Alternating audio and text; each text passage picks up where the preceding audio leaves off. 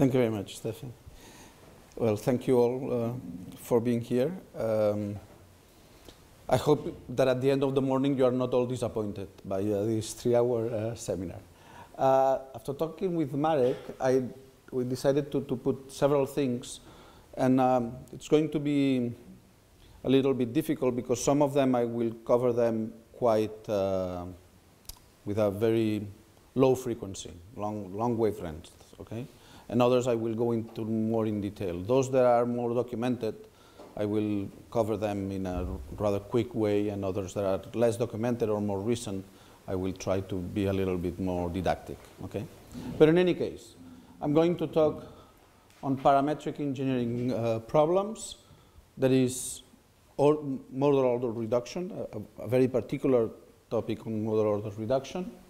Uh, and I'm going to talk on low and high order approximations, in particular for fluids, even though, as you will see, I'm going to talk on solids. And um, even if the abstract is written in the other way around, I'm going to begin by the model order reduction and then move on to the, to the high order, low order. Model order reduction. Uh, for instance, if th there are plenty of books, but I, am going to concentrate on proper orthogonal, uh, pro proper generalized decomposition, and this is one of these books uh, done at CISM in Udine after one week course, and you can find things on reduced basis by uh, Gianluigi Rozza, uh, who is a great scientist and an expert in this field, as others that you have here in uh, in Aachen. And uh, you have also an introduction to PGD and a very brief introduction to, to POD. In any case, um, what, I'm, what I'm interested in, I'm interested in solving problems like these ones, problems where we have parameters, okay? And these parameters, this mu here, can be in the material properties, can be in the external forces, or uh, can also be in the geometry. The geometry may, may, depend on those parameters. And what we want, that's typical in engineering, what we actually want is to be able to solve for any of those values of these parameters. The whole point here is that all of these at the end is, I'm going to say it in a, in a while, all these parametric solutions, all those techniques are going to be a commodity to solve other engineering problems. This is going just to be a tool that we will be needing to optimize or to design in engineering. Um, so that's the problem that I'm willing to, to solve.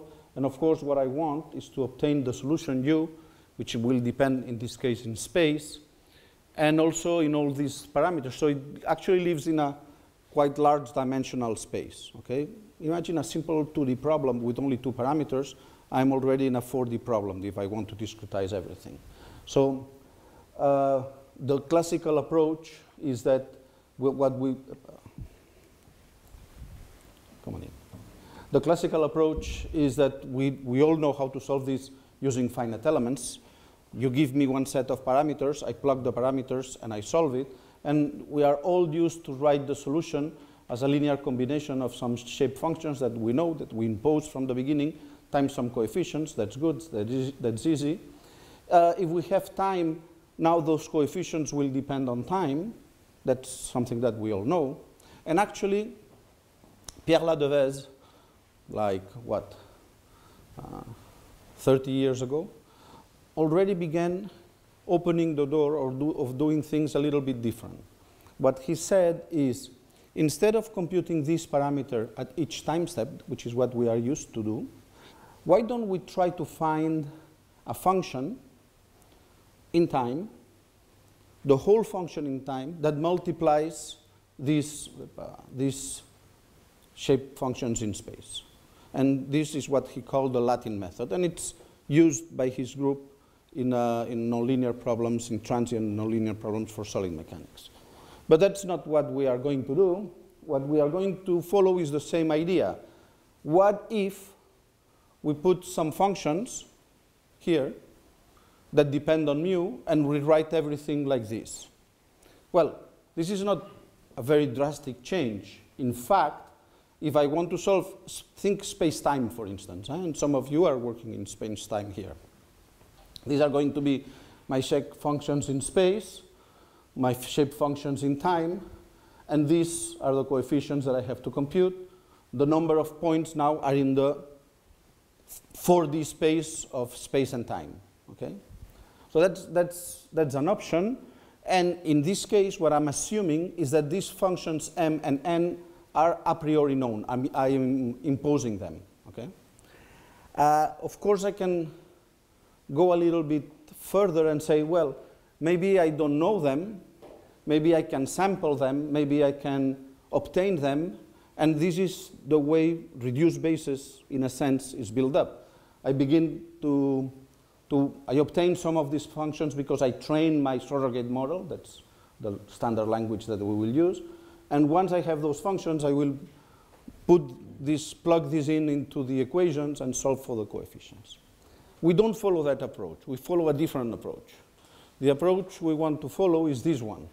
What we do is same idea. We decompose in space, we decompose in functions in the parameters, but now those two functions are unknowns. This is an unknown and this is an unknown. And we want to solve them completely on their own. What is the advantage?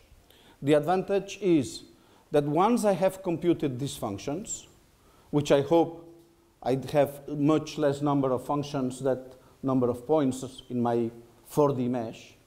Once I've solved these functions, any evaluation of the approximation is going to be trivial and fast. Because I only need to evaluate those functions, multiply them, and sum them. I don't need to solve any extra problem. Anytime I need to do a sensitivity analysis, how is the temperature, the displacements, the velocities, or functions of this, the stresses on a surface.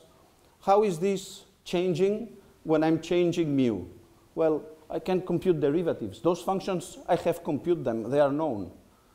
So numerically, I can compute the derivatives of these functions. Okay?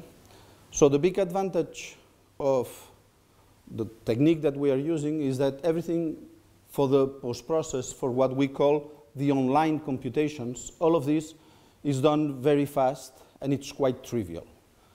Where is the catch? The catch is that computing these functions is sometimes not easy at all, okay? But that's, that's the whole idea.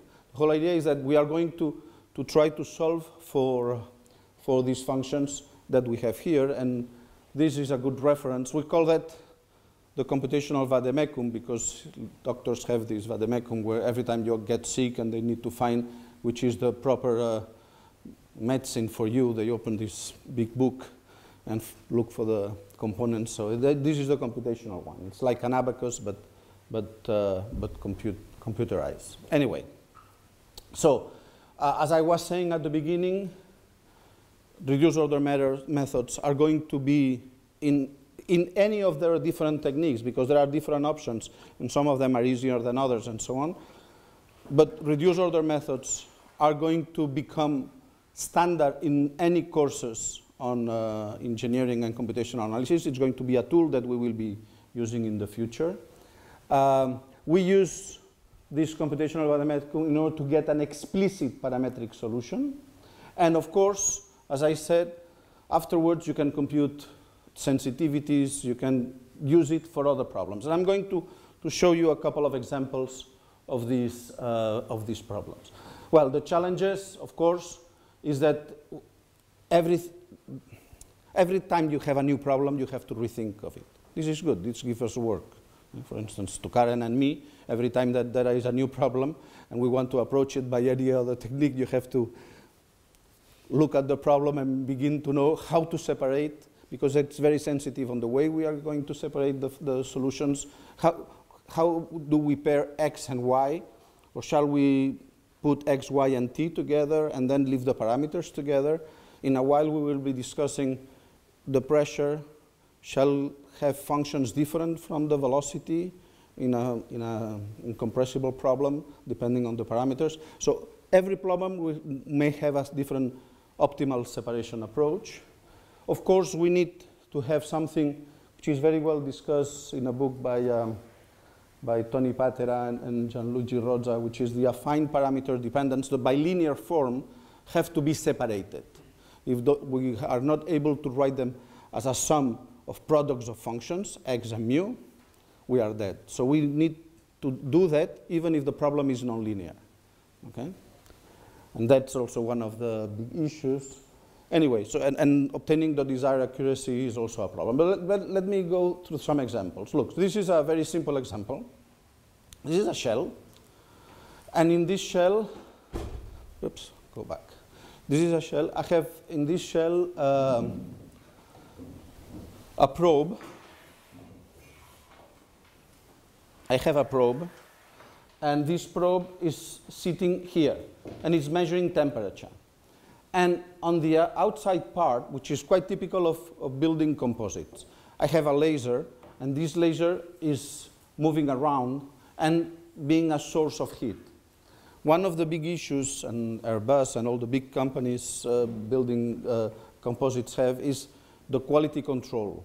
They have to throw tons and tons of composite pieces because sometimes they are not, they don't conform to the, to the quality control. And for instance, this is the case where I have a small crack here and the temperature, the temperature, this is the temperature in time measured here. Without a crack is the red line, with a small crack is the blue line, with a large crack like the one we see here is the green line. So each crack will have a signature. Okay? But I want to do this extremely fast. I want to be able to, measuring temperature, I can do it fast. But at, at the same time, I want to know if the temperature I'm measuring gives me some information of a crack or not. Is it the theoretical one or not? So I have to be able to compute temperature very fast at this point when our source of heat is traveling along this surface. Now to do that, if you go back to your uh, math courses, one, two, three, four, five, there was something strange called the green functions. Uh, green functions was a magic thing to solve PDEs, okay? Well, engineers also call them transfer functions. Uh, the idea is that I'm able to compute the temperature at the point that I want, x0, for any instant t, by simply integrating along the external uh, surface where I put the external load Q, my load Q, times a magic function, h, which depends on the position, x, which depends on time, which depends on a frequency, and then depends on, on x0. This is actually, actually this is a t, there is a mistake here. There, there should be a time here, a, a, tau, a tau should be here. Uh, this is the transfer function, and this transfer function is nothing else than the inverse Fourier transform of this. Uh, this is the inverse Fourier transform of h hat. And h hat is the green function, is the solution of this problem here. And this problem here has, I have to solve it for every frequency omega, then I will integrate for all the frequencies between minus infinity and plus infinity. But if I solve this where I have put a delta, a Dirac delta at the x0 when I want to measure, I'm able to find the green function, the transfer function. I'm able to compute the temperature at any instant at position x0 where the Dirac delta is put. Now, if I have a technique to solve this problem here, approximated, of course, not exact, and it, this technique allows me to obtain solutions for x and for omega, for the frequency, and I solve it for all the frequencies at once, I can plug back this definition in here. You see that the integral, the, the, the function of x will come out of the integral in omega. And I simply need to integrate this function in omega, plug it with the q, which is known, and obtain the temperature at the point. So at the end, it's very easy. I have used my PGD, I have used my reduced order model to solve for the green function. So it's a technique inside of a box. This is my approximation that I plug into my transfer function and I obtain the temperature. Okay? Is this working fast enough for real-time evaluations? The answer is yes. If this moves, yes. This is the temperature computed with a Abaqus, so half of your life computing, I mean, two days computation, because this is a very thin shell, different uh, properties, okay, so it takes a long time. And in blue, let me rerun the code again. In blue, you have the different solutions obtained with this technique. This is the actual time, the real engineering time. This is the computational time. So thanks to the fact that I have an explicit solution of the Green's function, and therefore doing the inverse Fourier transform is easy. The convolution afterwards is even easier also. Thanks to all of that, I'm able to run faster than real time. Okay? So reduced order models allows you to do things like that. But they also allow you to do things this, like this one. This is a harbor, and these are the waves hitting a harbor. And I want to study the problem for different angles, for different heights of the waves, and for, for different frequencies of the waves. This is a Helmholtz problem, so it's in an unbounded domain. So it's, it's not easy to solve it even just for one omega, one theta, and one height. Those constants here, the problem is linear. They don't depend on the solution u, but they depend on the depth in a very nonlinear way. Okay? So solving this problem in itself is solving a system of equations which is not nice. Okay, we have to put the right boundary conditions and, and solving it many times. That's something that is really not, not worth it. And again, if we are able to find an explicit approximation, we can. This is just a video taken in real time from the from the screen. You change the direction, you change the frequency, and you get the solution. And you can see that the solution is extremely sensitive to the, to the directions and frequencies. Why is this important? Because this happens. I mean, and this is not in the Atlantic Sea. This is this toy sea called the Mediterranean Sea, okay? I'm, the, I'm saying toy because, I mean, it's small, waves are small, I mean, you don't have the huge problems that you have. But this is in a harbor in Israel, and as you can see, some days you cannot work. The cranes cannot work. Okay? And we had a similar problem in Barcelona. This is the big harbor of Barcelona. For those of you that have been in Barcelona, the Ramblas are here. Okay? Is, is this street here? These are the Ramblas, okay? And this is, this is the Olympic harbor. This is another harbor that was built close to the forum, which these are private boats, okay? I mean, big boats. Uh, actually, most of the rich people live there in winter their boats over there because, the, I mean, it was cheap. Now, the problem was these guys don't want to have coffee the, on their deck and uh, all the coffee vibrating. So you have to know exactly if the harbor is well protected and how many days you will be able to use all the different areas. So that's a pure economic problem, okay?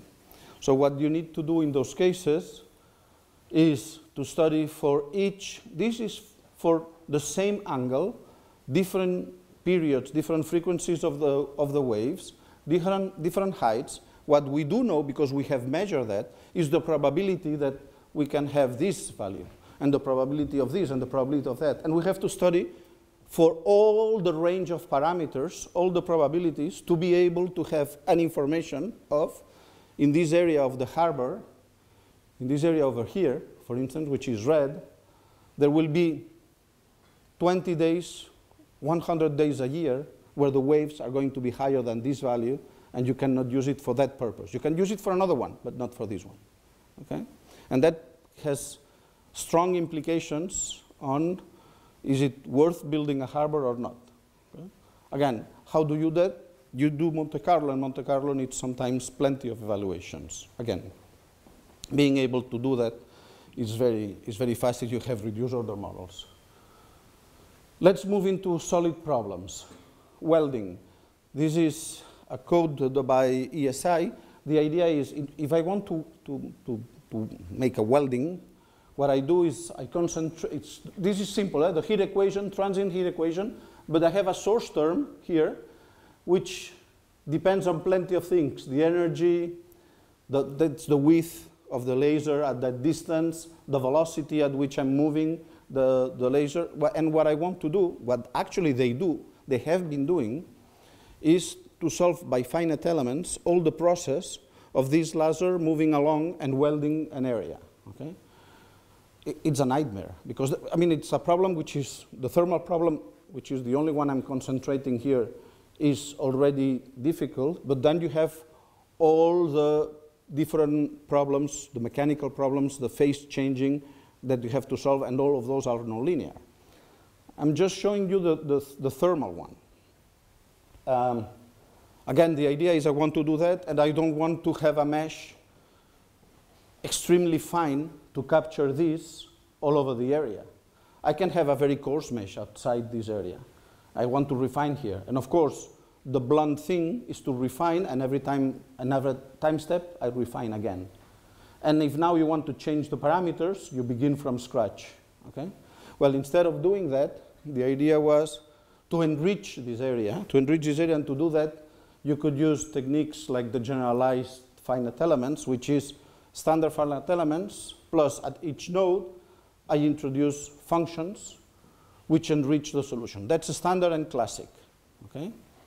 And I can do that. That the problem that it has is that it increases a lot. It increases a lot the degrees of freedom. At each node, I put more degrees of freedom. I have to choose the right functions. Those functions should not be collinear with the previous ones because then I may have uh, ill conditioning on my matrices and so on and so on. So the idea is why don't we put, instead of a bunch of functions, uh, this is what the effect. This is the standard generalized finite element. So you have the linear shape functions, my enrichment function. I multiply these, uh, these two so that the support of the enriched function is just the support of the, of the interpolation function. And I get something which is richer, and I can put some uh, analytical information in it. Or for instance, this is the extended finite element I can, developed by um, Nicolas Moes, John Dolbow, and Ted Belytschko in Northwestern Uh, I add a, a discontinuity. Okay, so my shape functions, I have a Heaviside function representing the discontinuity, and now I have something which has only this support, which represents the discontinuity. The idea is how many extra functions shall I put? The cost increases with the number of these extra functions. In order to define, I have to be able to, to not make mistakes, as I said, with the conditioning numbers. And there are a bunch of options. What we do you simply choose one very smart extra function. That's the whole point. And how, why do I, I mean by very smart extra function? A function like this one, which is parametric in what? In the velocity, in the amplitude of the heat that I'm imposing, in all the parameters that I had, in the width of my laser, and also on all my boundary conditions. So I have a solution inside this small patch where you give me the velocity, you give me the power of the laser, you give me the amplitude of the laser, and you give me the boundary conditions, I can give you the solution inside. And that's very expensive, but I only do it once. Okay? And then, when I go online, I plug this solution with the external coarse mesh solution. And they only talk through the boundary conditions, which are data for this one. Okay? So only one extra function that allows me to be able to model the heat. So look at the difference between the function in this area where it's far away from the boundary to this one where I have some heat also introduced on this boundary. It changes completely and on the outside. Okay? So it, take, it adapts itself to the environment, which is, which is important. And you see the coarse mesh here and the enriched solution over there. And it's already, the message is, is already implemented in a commercial code by, by ESI. The last example that I want you to see in this, in this quick view of uh, reduced order models. No, the last, no, one to the last. Uh, this is a technique, one big advantage that we have been found in doing this separation and reduced order models is problems where you have two very different lengths. One X in this case, one Y, this is typical of composites. And you have a bunch of, of layers, and for instance, for this problem, the conductivity of one layer is 10 times larger than the other. So if you have to mesh this and to solve this with some precision, you have to refine drastically along this direction, and you don't need to refine along this one. And on top of that, you may have parameters. This k, this case may be a priori unknown, and you want to do the inverse problem, for instance. Okay? So the solution is going to be written as the product of in plane, out of plane, and then all the parameters that you may want. Okay? And this is a test that applied mathematicians have been using for a long time. This is the problem, uh, that this is a fin that has been studied for a long time. We have complicated it a little bit with these different properties in plane, out of plane. But the idea is we want to solve problems like these ones very fast. And, and any engineer can see that there, are, there is some reproducibility here, that I can see some subdomains here, okay? So what we do is look at those domains, okay, and say, look, maybe these are three different problems. If I could solve each one of them and do a, so, a sort of domain decomposition type of approach, things can be solved in a very easy way. And that's what we do. We take the heat equation, instead of solving it in the whole domain, like here, we are going to split the domain. That means that my problem now is written, let's go back. My problem now is written for any of the domain decompositions. I have to put some transmission conditions so that the problem is exactly the same. Temperature should be continuous between those two sides, and the flux of heat should be the same between two connecting bodies. And I add an extra unknown U hat. So what I'm going to do is take this problem, say, I don't know U hat. I'm going to put, instead of U hat, any polynomial that you may want, linears, quadratics, cubics, okay? If it's a polynomial, it has coefficients. Those are going to be my parameters and I'm going to solve this problem with some unknown parameters which characterize this boundary condition. And then the only thing I have to do is glue them and impose the continuity of the temperature and the flux of heat. So only one global problem with unknowns, the temperatures on the interfaces, period. Why? Because I have a generalized, an explicit solution inside each of the domains. Okay? And this allows me to solve this problem by only solving two rectangulars with different boundary conditions. I solve only two, and I have to solve one global problem very fast.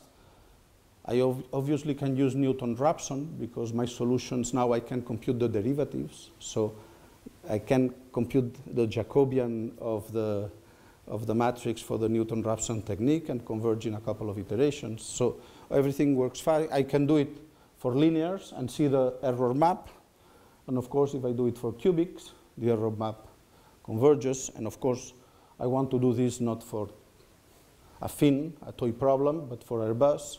This is the typical situation of Airbus where, where I have a heat source here and this boundary layer and, and different boundary conditions. And this external thing is where the composite is with all these different properties. And I have to match the correct discretization for the composite with the correct discretization for all the, for all the beams which are as rigidizers and they have a continuum model. All of this, matching all of this for any value of the parameters is a nightmare. If I do it with an explicit solution, I can obtain the correct answers very fast. Okay? Now, the last example. The last example is, and I use it to become more fluid, okay? Uh, so this is a Stokes problem, and I want to solve the Stokes problem, again, with viscosities and external forces depending on the parameters. And, uh, well, this is the typical, for those of you have, that have done uh, finite elements in fluids, I use capital A's and B's because now I'm integrating in x and mu. My parameters are in the x, in the space, but also in the dimension of the parameters, okay? But this is the typical viscosity matrix. This is the gradient of the, of the pressure, and this is the divergence of the velocity. Okay? So the classical Stokes problem uh, that, I have, that I have to solve. Now, uh, in order to do that, what people have done is the, the classical approach has always been to say, look, let's look at each one of the components of the velocity and do, and for the pressure, and do what I just explained. Write it as a sum of functions in space times functions in the parameters. Uh, the parameters, as I said, can be the geometry, can be the external loads, can be the viscosity. Okay? So each component of the velocity is multiplied, uh, it has two functions, the space one and the parametric one. And uh, the pressure has also a, a good, another one. This doesn't work. This doesn't work. There is a paper, you can look at the paper for the details, but let me very briefly sketch you why it doesn't work. If you compute the divergence of the velocity, you have to compute the derivative, let's go back here, the derivative of this function with respect to x plus the first component with respect to x, the second component with respect to y, the third component with respect to, to z. Okay? So that's what I'm doing. That's what I'm doing here. The sum along the spatial di directions of fi partial with respect to xi. But each one of these components has a different L, a different parametric function. And I may have five or six parametric functions there. Okay? So my divergence of the velocity that I have here is somehow weighted by these parametric functions. This means several things. But the most important one is that I cannot use commercial codes anymore. Every time I need to compute the divergence, I have to sit down, open the code, and begin to code myself. It's very intrusive uh, in a commercial code, a technique like this one. Okay? Now, if I do a completely different approach and say, look, let's go back here. Instead of putting different functions for each component of the velocity and for the pressure, for the parameters, I'm going to use exactly the same function. Okay? Each component of the velocity and the pressure will always have the same parametric function. If I do that, and I compute the divergence, my only function comes out of the divergence, and the only thing I have to check is that the spatial modes, the spatial functions that characterize the velocity, are divergence free. So now I can call an external code. I can be non-intrusive, and I will show you some examples in OpenFOAM by the end of the, of the seminar. I can be non-intrusive and use commercial codes to do PGD model reduction. Okay? But for that, I need to use the same function in, in all of the components. Now, the beauty of it is that this space is not smaller than the previous one. It may need more terms to capture everything, but it's not smaller than the previous one. It's the same approximation space. Okay? So I can do that, and this works. The message is that this works. This is what the Brinkman model, the Brinkman is a mixture of Stokes and Darcy.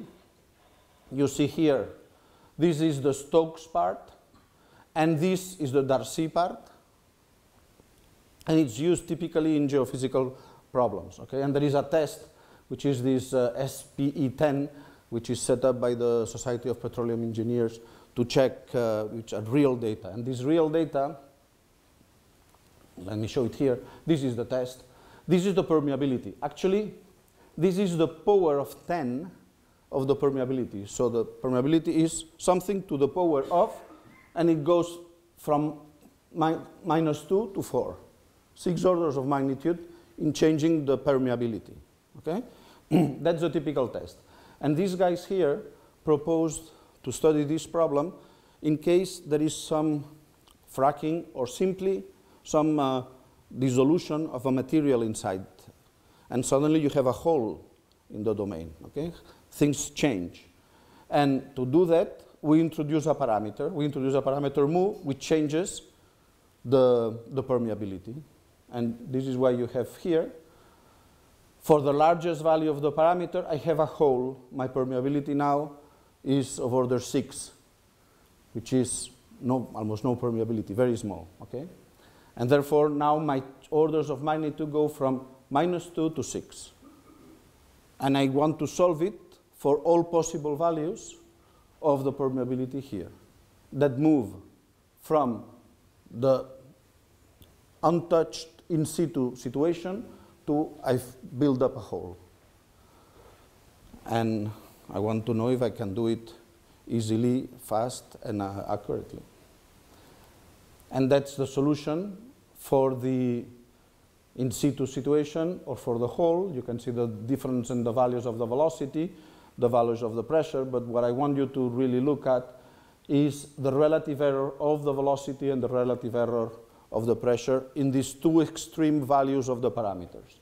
And as you can see, we are talking errors 10 to the minus 8, 10 to the minus 12, 14, 8, so either machine or minus 8. Okay? So this separation of the velocity and pressure actually works. Okay? So to finish a little bit this part of model order reduction, and I'm going on time because now it's 9.30. Good. No, 9.13 is not 9.30. Ah, see, see, see, that's perfect, that's perfect. We are, going, we are doing good, we are doing good. So let me, let me summarize what, uh, what I've been telling you.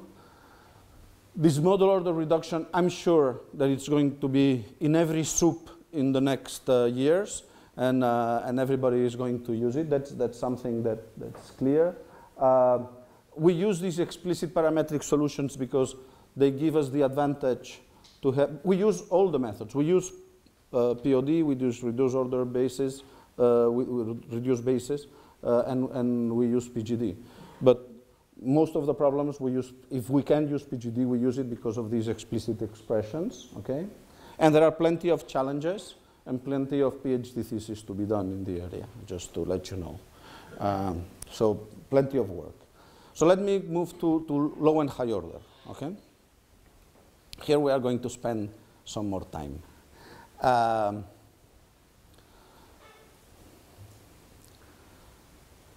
what is better, low or high, low order or high order? There was a big discussion. Rainald Löhner was involved. Spencer Sherwin was involved, were involved. And there was a big discussion and, uh, and nobody was agreeing, okay? So we, we wrote a paper, this paper here, in uh, 2013, where we counted the number of floating point operations, which is not correct. I mean, it's it's better than the asymptotic analysis that this is order of n cube and so on. It's better than, than the asymptotic analysis because we don't have any constants in front of it, and in order to compare, it's important not to have constants. So it's better than the runtime because runtime depends on the way you have coded and the machine you are working on. Uh, it doesn't take into account the memory, the, the, the mflop operations, the, the memory operations, okay, which are also very important. Right? But at least it was able to tell us that if you use a sequential uh, computer, what method will be better, which one has, has to do more or less operation. And in fact, for high order methods, let me do a step. For high order methods and discontinuous Galerkin, um, this is on the safe side. That is, discontinuous Galerkin have a structure which is, which is good for the type of computers that we have. Okay? And therefore, they are going to run faster than just counting the flops. That's, that's the message. Okay? But in any case, counting flops, high order is in general better than low order if, if your solution is smooth. Okay?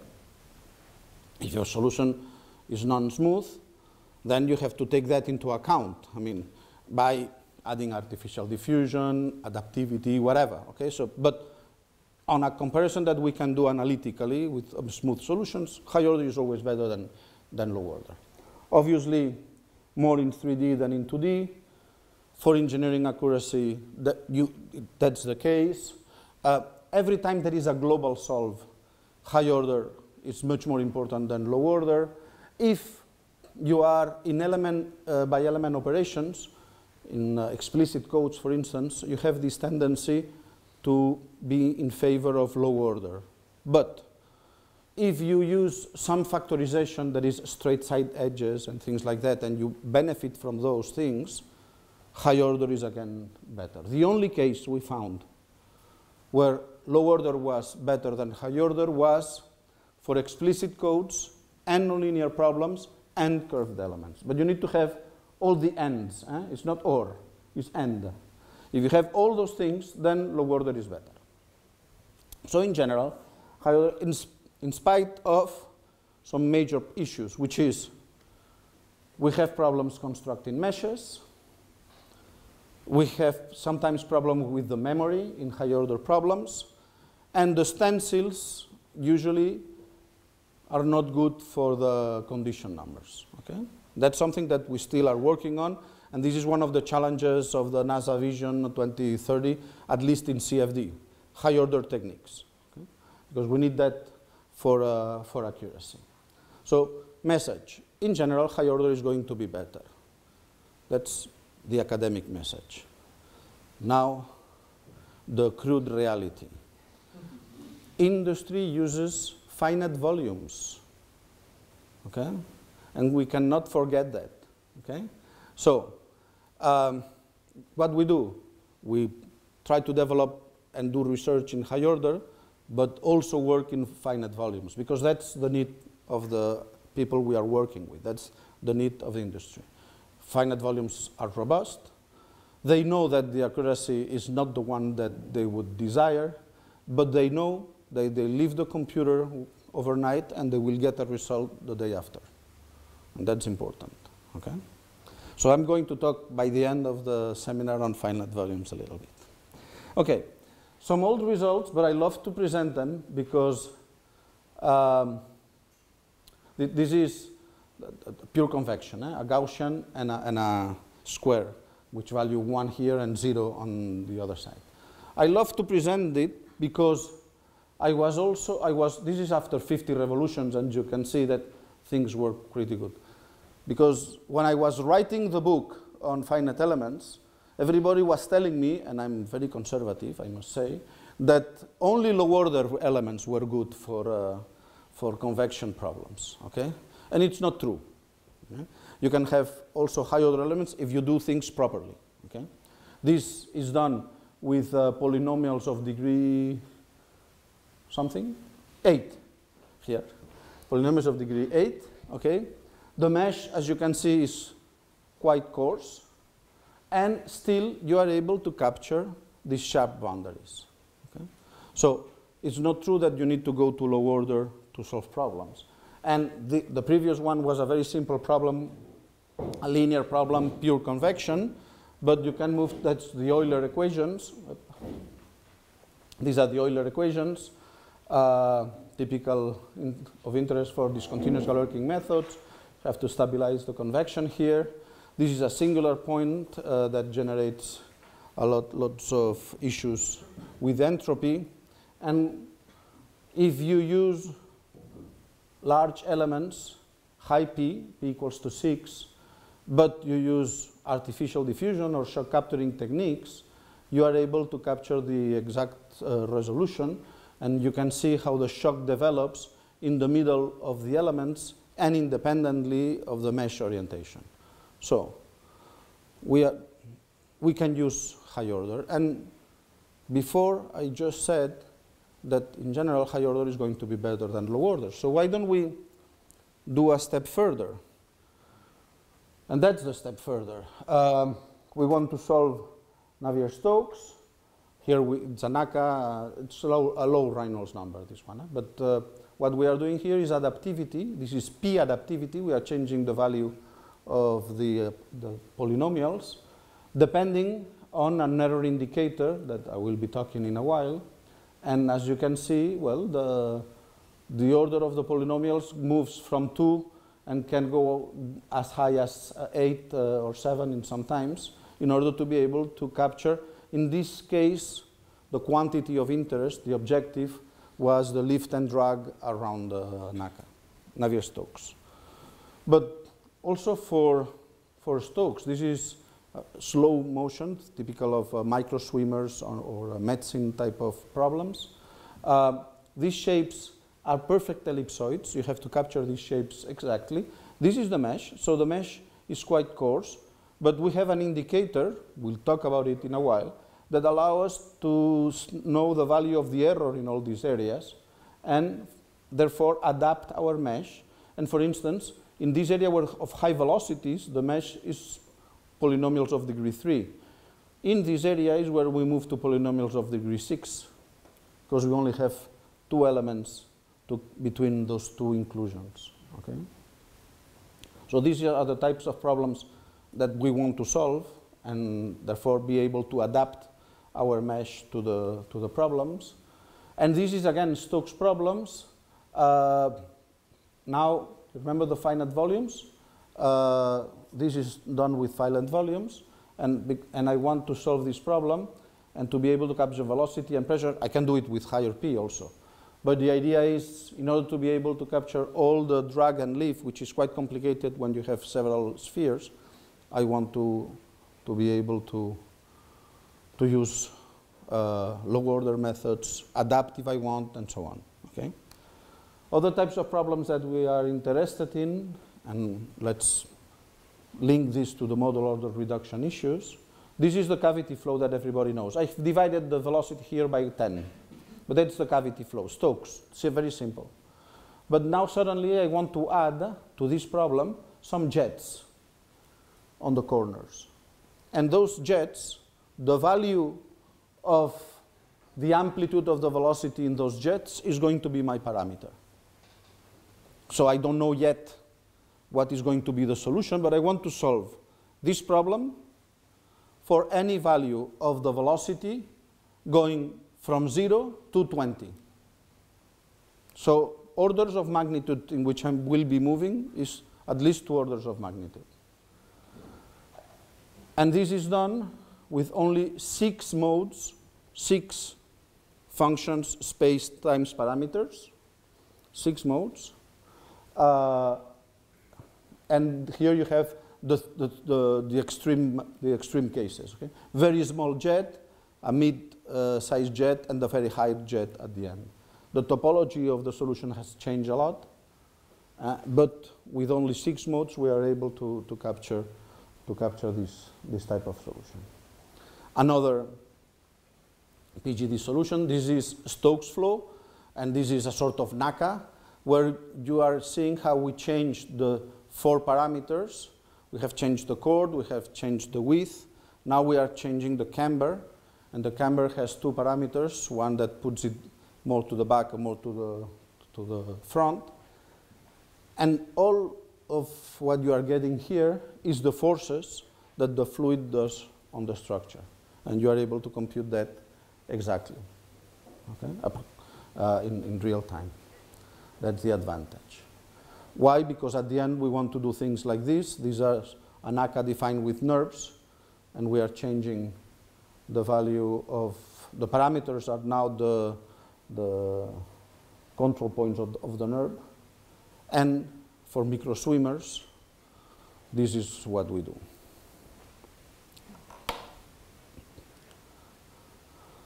These are two micro swimmers in Stoke flow, characterized by three parameters. These are two movies, eh? it's not the same movie. This, here you can see the velocities, and here you can see only the streamlines. We are changing three parameters which characterize the shapes of the NURBS outside the, the, the, the domain. Okay, and uh, this is, let me run it for you. And this is done in real time. Okay, it's, this is a capture of the screen. This is why it stops because you change the parameter and then he recomputes again all these sums of functions and products of functions and gives you and gives you the solution. The whole point is now you can put any euglenoid.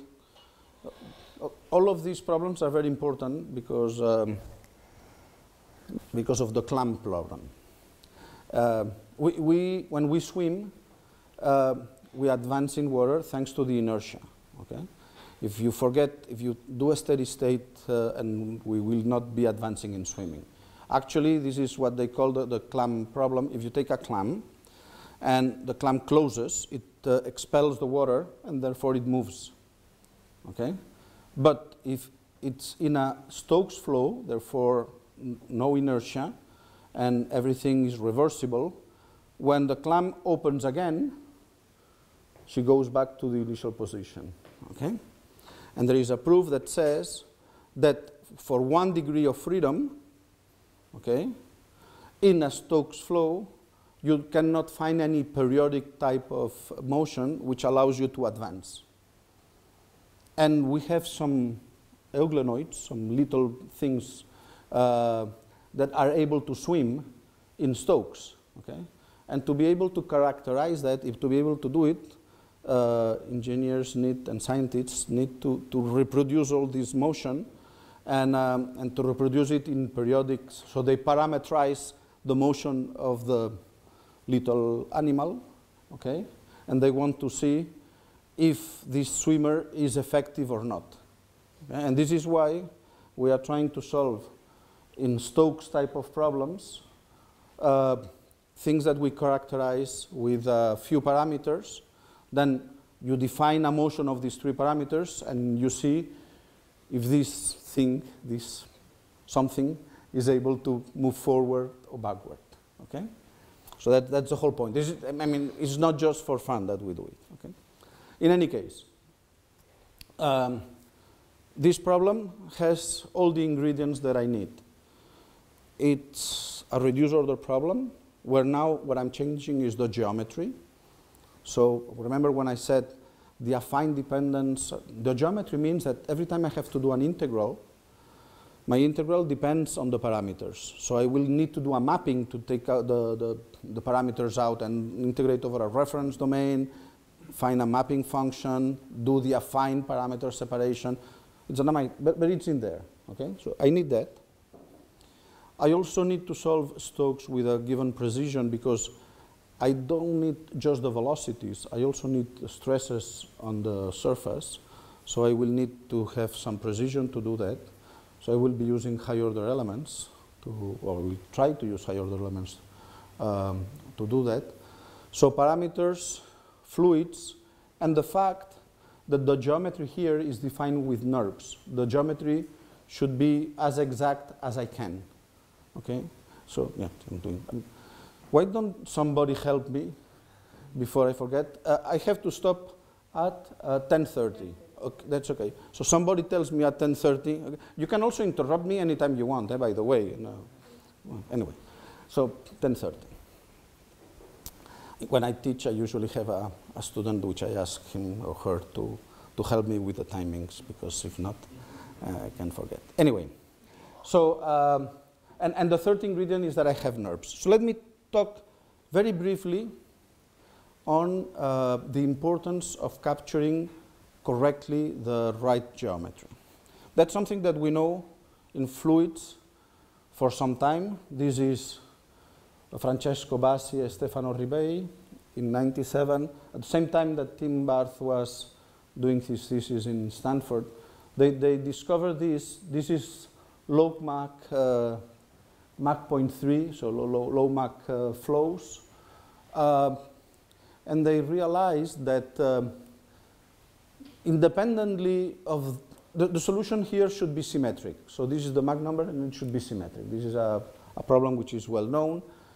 A simple sphere, they refine and they keep on refining and keep on refining and keep on refining. Look at the mesh here and still the solution is not symmetric. And as soon as they changed the linear elements by quadratic elements, they said they obtained something which looked better. And they said, well, that's an advantage for high order methods. Yes, but. Yes, but. Okay? Same thing, Leszek Demkowicz in electromagnetics, this is from this paper, using an exact geometry mapping, the error is reduced an order of magnitude with respect to isoparametric finite elements. So exact mapping one order reduction with respect to isoparametric. Uh, but also in solids. This is uh, Mike Shephard and Jean-François Remacle. And let me go through this graphic. This is elasticity. Uh, this is the error. Here we increase the polynomial order. Okay? And Q is the polynomial of the geometry representation. So my boundary is characterized by linear elements, quadratic, cubic, and fourth order. Okay? Why is this important? Because in, if you go to work in, a, in industry, lots of people will tell you that, yes, yes, we know that linears in fluids and in solids can give you problems, but this is mostly fluid people because fluids are difficult. And, uh, but in solids, this doesn't happen, message number one. And message number two, as soon as you put second order elements, that's it. You capture the geometry almost exactly, and you can forget all these issues of the geometry. Well, it, depending on the error that you want, we, we'll see that in a second. But the important thing is, look what happens. Linear geometry and I begin increasing the order of the polynomials, my solution doesn't get better. If I have quadratic geometry, uh, parabolic functions for the boundary, uh, the error decreases, but then as I increase the polynomials, keeping the geometry as quadratic, the, the error decreases a little bit, but then again it saturates very fast. And this happens for any example. So, depending on how high order you want to go, depending on the accuracy that you want, be careful with the geometry because the geometry carries lots of information and the error of the geometry is what controls these saturation points. Okay? This is error due to the way you, you are not close to the exact geometry. And this is why we like to use Lots of people like to use IGA, people like to use NURBS to capture the geometry because then you are with the exact one. Okay. Yes? These are the tough ones.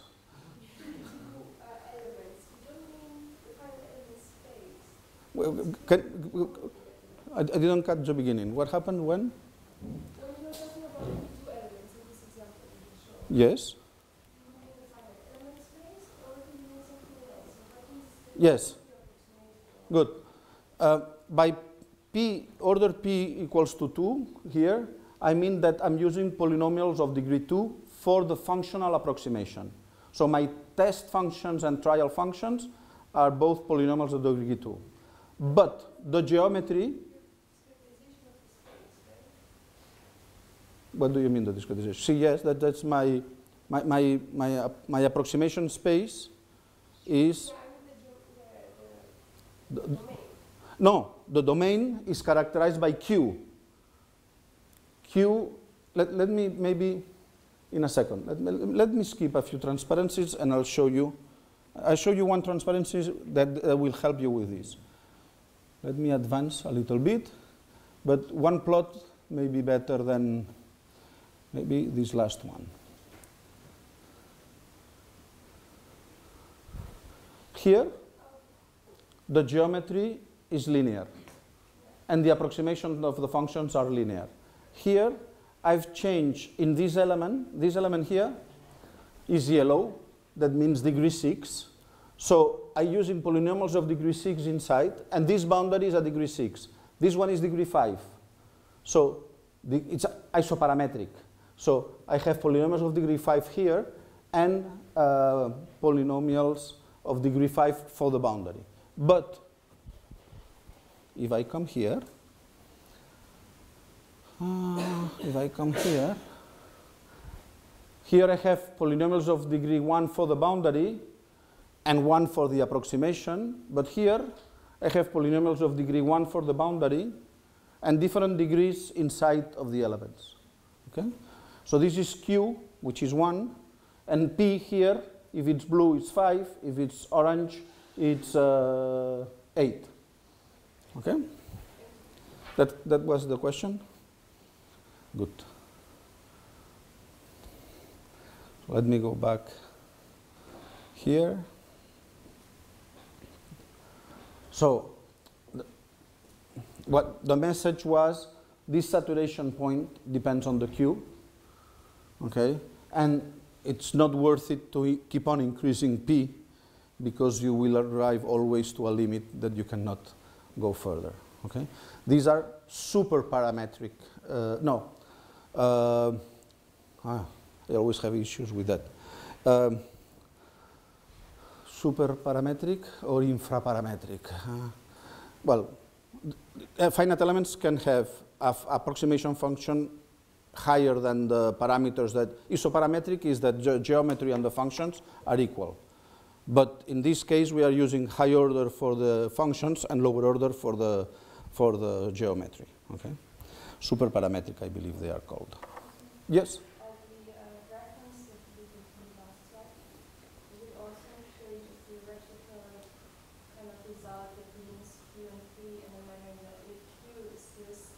Knowing the authors, I don't think so. They probably did some numerical evidence. Okay. Yes, the book of Raviart. You, go, you have to go to the French finite element people to, to know that. Yeah. Anyway, um, so uh, this is important because when you have to capture small features in a mesh, you never know what to do, okay? And that can take lots of time. The, the, what people doing meshes call defeaturing. Shall we take out all those small features? I, I remember once I had to compute uh, as part of a research project that was a part which was not research at all, but that it was reality calling to us a, a, huge uh, outdoor bank for a park made of all of cast iron. We received the CAD, and the CAD was huge CAD, so we had to generate a finite element mesh. Objective, when hooligans get on top of these banks in the middle of a Christmas uh, market, uh, we hope that the, the bench is not uh, breaking, okay? Uh, and we had to do some dynamic studies and so on. Anyway, when you receive the CAD, it's cast iron. So the company building this, this bench has its name written very small in a small piece of the cast iron. Now, shall we take this name out or not? Is it important for the computation that we are going to do or not? In this case, it was obvious. You can delete it. But you need somebody sitting in front of the CAD and taking out all these features, all, the, all those NURBS in order to be able to generate a valid mesh afterwards. Okay? So this is the defeaturing. Is it influential or not? And the answer is, in heat problems, In heat problems, a small feature, you, we don't see the difference. In solid mechanics, in, in, uh, in standard mechanical problems, well, it depends. It depends. If, if you are interested in the maximum stress, of course, this little feature here will generate some singularities and there will be a change. But if you are interested in more global things, which are far away from this area, uh, this small feature will not have any influence. Okay? But you, you need to have the guy generating the mesh knowing if this is important or not, depending on what you are going to do afterwards. But there are problems, like wave problems, where things get even more complicated. If you use long waves here, low frequencies, well, the small feature doesn't make any influence.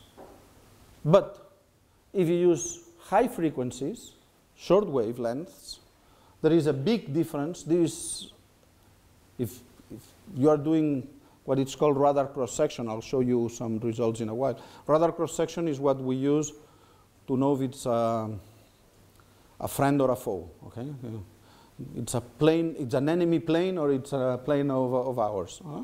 Uh, so you, you send the radar, you look at the scatter signal that you received, and of course the, the scattering due to this small feature is very different than the scattering of a perfect uh, circle. Okay, so in this case, small is very influential, and uh, it really depends on the frequency at which you will be working. So our, approach to this, you can see here the, the radar cross sections. This is the radar cross section of this piece with the small feature. There is no difference at all. This is the radar cross section with the feature and without it. So in just, this is the area where you throw the, the signal and you receive it. This is why you have more energy here, okay? But in this other period area, the difference between the two cases is very, very important, okay? And the machine should decide by just looking at this what shape is the object, okay? So it's, it's, it's going to be it's going to be a problem if you don't put the small feature. Same thing here. This is an airplane. This is a small antenna in front of the airplane. You have here, if you want to do it with finite elements, you have to remesh and have elements of the size of the small thing. If you use NURBS, you can use large elements, and that's what we do. And it's important because if you take out this feature, this is what happens. If you put it, you can see that the scattering is completely different in front of the, in front of the plane. And that makes a big difference in the way things are, are computed and, and measured. Okay? But going back to the, to the flow problem, this is 64 elements describing the circle, 128 elements describing the circle.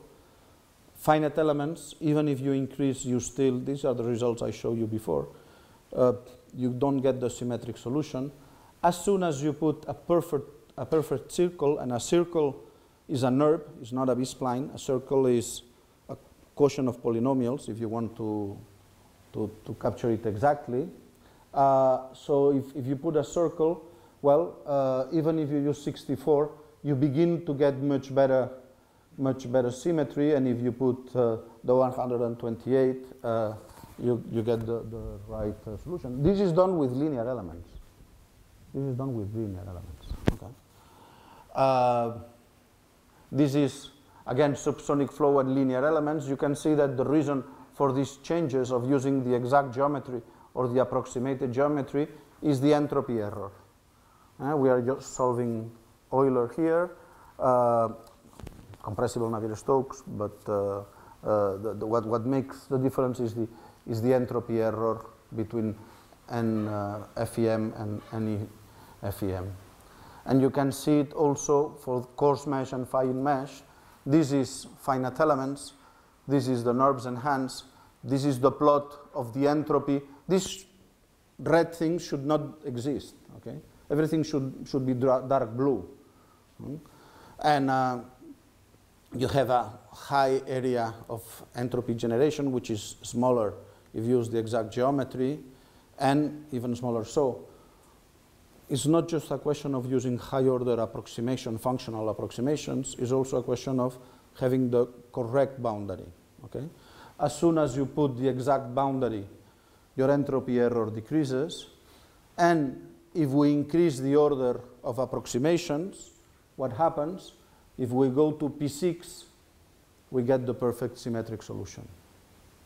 So one thing is, is, is like the stability in, convec in, uh, in Navier-Stokes.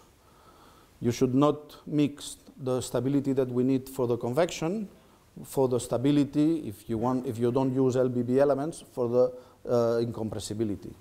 Two parameters in your equations, okay? So here is something which is very similar. One thing is having the exact geometry, and even with low order elements, you can improve that.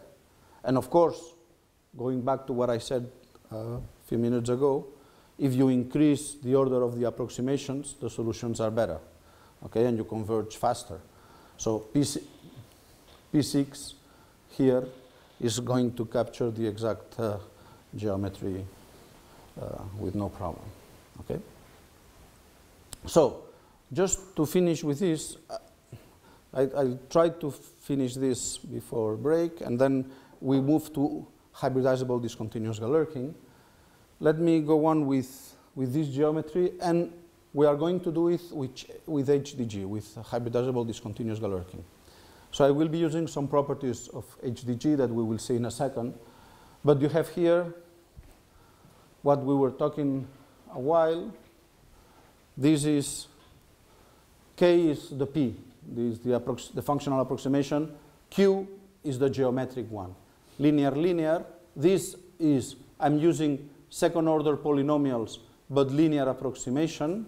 Here are second order polynomials and parabolas here, quadratic approximations, okay? Here is cubic and parabolas for the geometry, or cubic and linear for the geometry? These are the typical things that we, that we want to check and, and verify. And HDG, you will see it in a while, HDG has an advantage, which is almost for free, you get an error estimator. Okay, and that's very, with a post-processing element by element, you have a hint of where the error is, and therefore you can decide very quickly if you have to increase, decrease your P. Okay? And that's what we do in this problem. So we take, this is a Stokes problem, analytical solution. Okay? It's easy one. And uh, what the only trick thing that we've done is that we have taken this boundary and we have cut it with a sign. Okay? And we want to solve it exactly. Of course, we are doing the tricks. In the boundary, we can put the exact boundary conditions because we know the analytical solution. So you give me any boundary, I can put you on that boundary the analytical, the analytical solution. So what we do is use linear elements for the geometry and we begin with linear elements for the geometry and the approximation and compute the solution. This, and we get an error indicator which is here. And this error tells me, well, you are not at the target level, the, the level, the target level is below, it's, it's here. So you have to refine, and it also tells you where you have to refine, and this is where you have to refine. And he tells you, look, in this area you have to put at least polynomials of degree 5, the green. Uh, in this light blue, you have to put polynomials of degree 4. Dark blue, polynomials of degree 2 or 3. And once you have that, with the same geometry, you recompute and you obtain a lower error. Good. Things working. No? I'm adapting and I obtain a lower error. Still not in the target.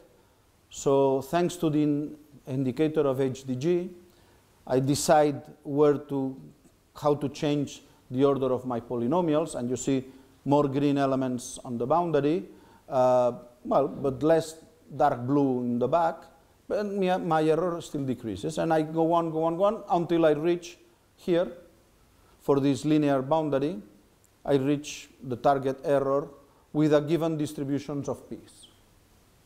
That's it, we can go home, no? We finished. there is a problem. In this case, we know the exact solution. So we can compute the exact error, okay? And sometimes it's better not to know, eh, not to have information, but you have to use it when you have it.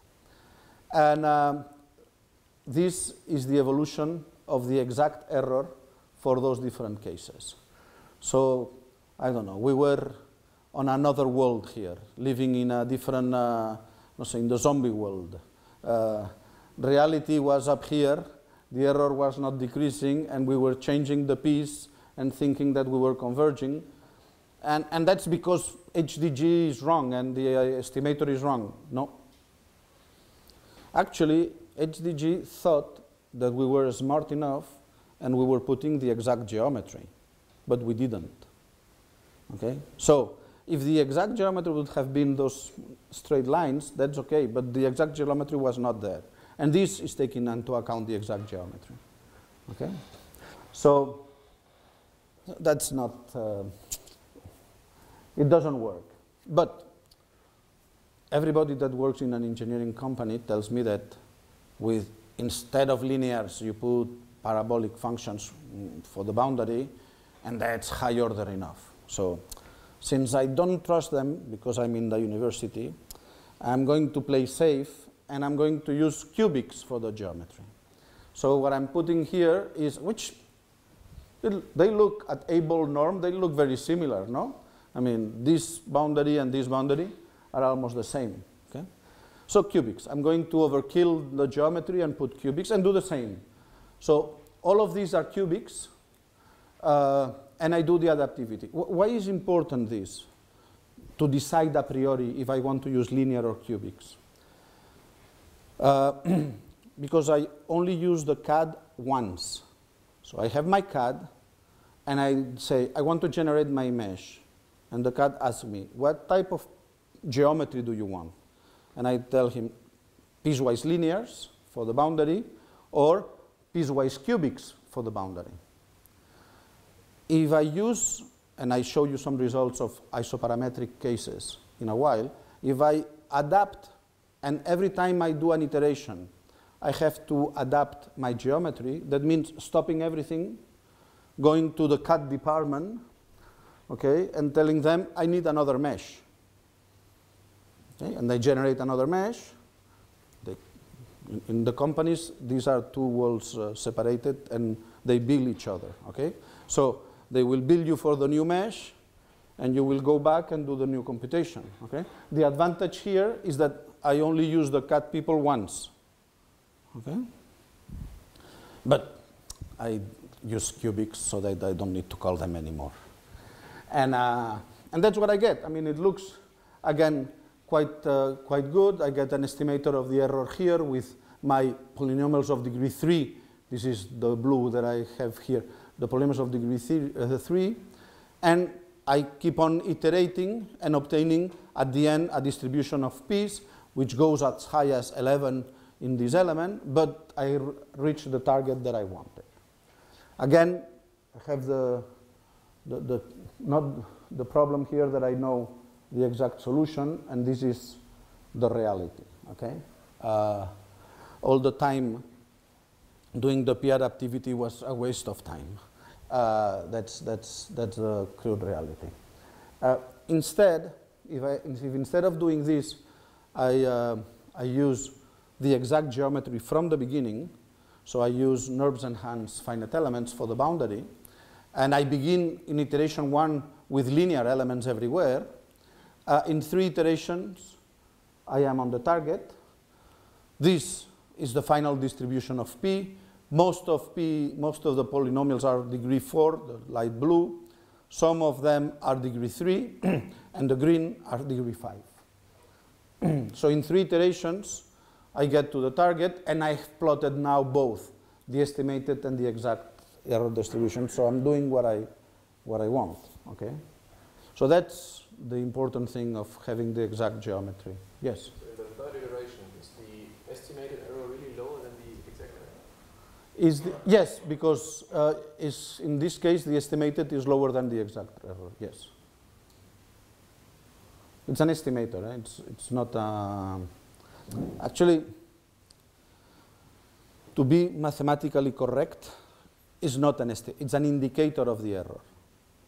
Okay? It's, you, you can prove that it's bounded in the asymptotic limit, but we are not in the asymptotic limit, of course. Okay? It's, it, th- this is why we sometimes record about a strict bounds or, uh, or bounds. Uh, th- this is uh, what the definition that most of the people use for estimator is that you have an estimator if it is bounded in the asymptotic limit. Okay? But some others call that an indicator and not an estimator. Here it is computable. That's the, the big advantage. There is no Cs in front of it which do not know the value. anyway, it's a good indicator of what the error is. Okay? Uh, but sometimes it can be above. That's, that, that's a problem too. Anyway, so you are able to do it. and of course, uh, you could have done exactly the same thing with, um, you could have done exactly the same thing with isoparametrics, but at the cost of every iteration, I am changing the geometry on the boundary. I have to call the CAD department at every time in order to change my geometry. That's extremely expensive. That, that's no sense. But even in that case, beginning with the exact geometry is better than, uh, than doing isoparametric. Okay? This is isoparametric, not isogeometric. Eh? Polynomials on the boundaries. With isogeometric, you would get a different solution. Let, let me show you an electrostatic problem. This is typical of electrostatics. Uh, in electrostatics, in real engineering prob backwards. In real engineering problems, you don't have straight angles. You have rounded corners, okay? And of course, you can round it more or less or even less, okay? So usually you want to go as low as you can so that you can compute, but taking into account that it's not a perfect corner, that is rounded. So even though you don't see it here, this is rounded, okay? And in real engineering problems, that's, that's actually more close to the reality than putting a, a straight angle, okay? So that, that's what we want to do. Uh, the problem is that if you do that, either you have to remesh a lot in H, or you don't know how to do the adaptivity, even if it's smooth, okay? Look at what happens if this is the angle that we want, the, the, the rounded corner that we want to put. These are the elements. This is the mesh. eh? So it's not a non-structured mesh, it's a standard mesh that you use. But here we have NURBS They take into account this rounded uh, thing. And you can see here how we are estimating the error and the exact error in this case. How is it decreasing? In eight iterations, we have converged. This is the final distribution of p's that we need to capture the exact solution with this tolerance. And in this particular problem, of course, if your mesh is that big, if you don't do H refinement, if you only increase the values of p's, having a polynomial which is able to approximate very well this curved area here and then straight is not easy. And isoparametric elements have problems and don't converge. Okay? So, let's close the geometry things. Uh, geometry is important in, uh, in real problems. huh? We have this tendency of solving problems in very simple domains, which is good. This is where we have to check things. But reality is a little bit more sophisticated, and having the right geometry is important. And don't trust those that tell you, because this is, uh, this is Poisson actually. Electrostatics is the Poisson equation. Simpler than this, there is nothing. Okay? Um, it's not true that uh, these issues that the fluid people have found with uh, low geometry definition do not happen in solid mechanics or in Poisson. They do happen. So geometry is an important issue. And now we will see how to solve with uh, hybridizable discontinuous Galerkin. So let's do the half an hour now, and we'll keep on uh, afterwards. Thank you. Okay, so we've covered uh, all the issues. Now I'm going to concentrate a little bit more in um, fluids, but also elasticity, but mostly in fluids, and uh, hybridizable discontinuous Galerkin. Okay, that's the message. Um, hybridizable discontinuous Galerkin, it was developed mostly by Bernardo Cockburn, who is in Minnesota, and actually Jay Gopalakrishnan, uh, who is in Portland State.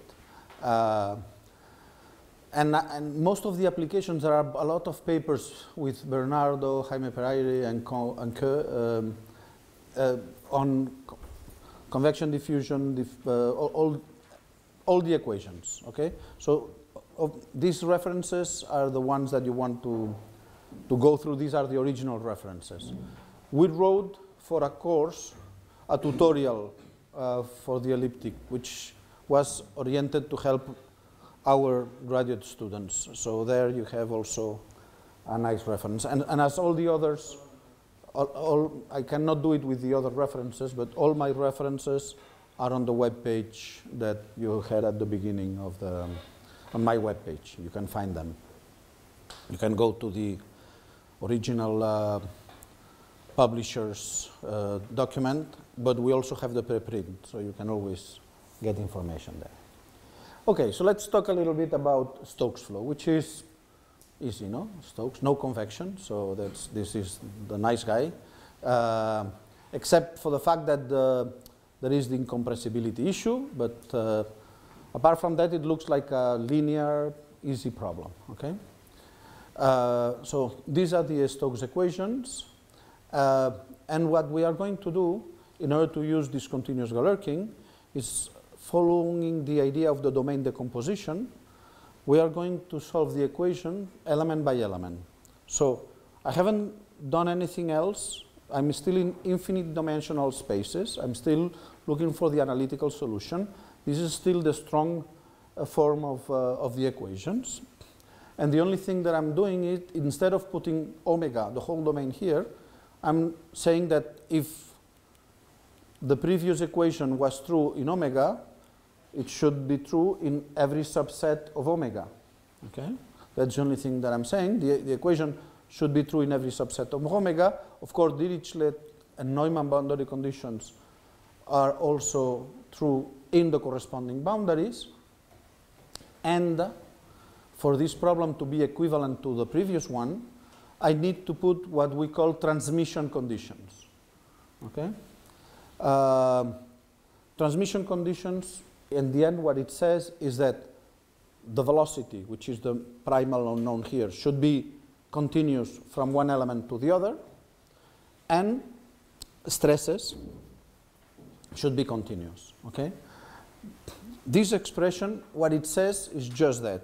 But let me, because that's some, this is a, this is a little detail that can be useful for all of you.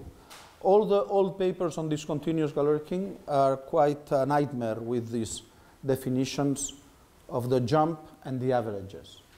And the definition we introduced now, Bernardo uses, everybody uses it, which is every time I write something like this, I need a normal vector inside. Okay? Uh, something times a normal vector. And the operator here, in this case, is the cross product but if I have a scalar, this is going to be a vector, for instance. Okay? And these jumps are always equal to A on the left, on the right, 1, 2, call it as you want, A1 and 1 plus A2 and 2, or left and right. Put the names that you want. But it's simply this. The normals are unit normals and in opposite direction. So they take care, they always take care of the minus sign, of the jump sign. And that, and that, if you code it like this, you are prone to orders of magnitude less bugs than if you code it some, some, some, in some other manner, okay? If you have a scalar is like this, is if suddenly A is a vector, then you can do that. So the expression that you have here is the expression that you get. If here you have a scalar, you will get a scalar. If here you have a vector, you will get a vector. If here you have a tensor, you will get a tensor. The first papers from Brezzi and so on didn't, I mean, they had specific definitions of the jumps and they were changing the dimensions of the things that were inside. So this is why I decided to use this. In this case, for instance, this is a tensor, the stress tensor, times the normal. So this is going to be a vector. So I have a zero vector here. Here, u cross n is a tensor, so zero is a tensor. Okay? And that helps me to, to, to simplify my life. And the, the jump operator above and below is exactly the same. And it changes the functions inside to the same functions outside. Okay?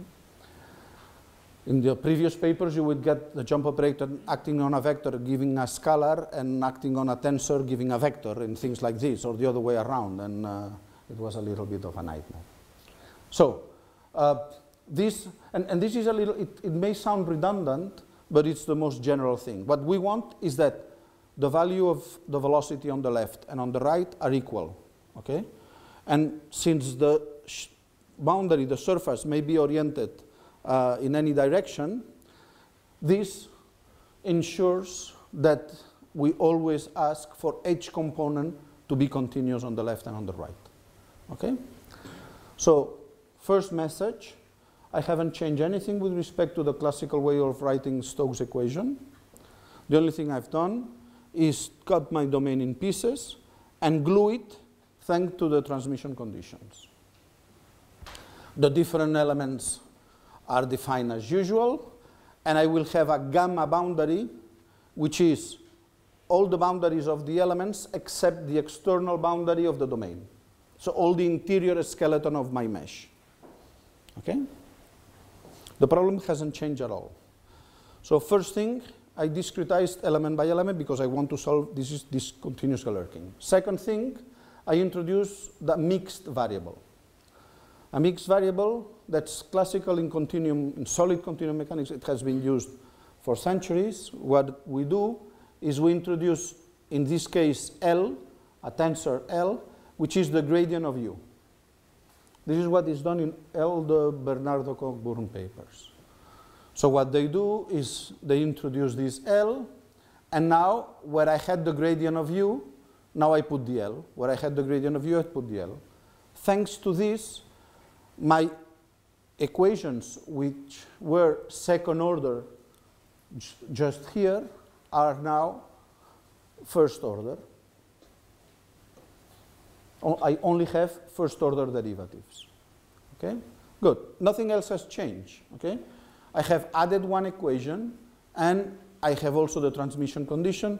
Everything else is, uh, is exactly the same. And one may think we are getting crazy because what we are doing, we are, what we are doing is taking a problem which originally was in my domain, and instead of using classical CG, instead of using classical CG and having unknowns on the boundaries of these finite elements, now I am duplicating the nodes on each, on each skeleton, on each edge. Okay, that's the first thing I'm doing. And I'm adding more unknowns, which are the derivatives of the velocity. Okay, I, I had the velocity, I had the pressure as unknown. Now I put more unknowns on the skeleton, and I put as an extra unknown the tensor, which is the derivative of the velocity. Okay, am I crazy or what is the question, no? And the answer is a little bit. But the whole trick of HDG is thanks to something which is called the hybrid unknown.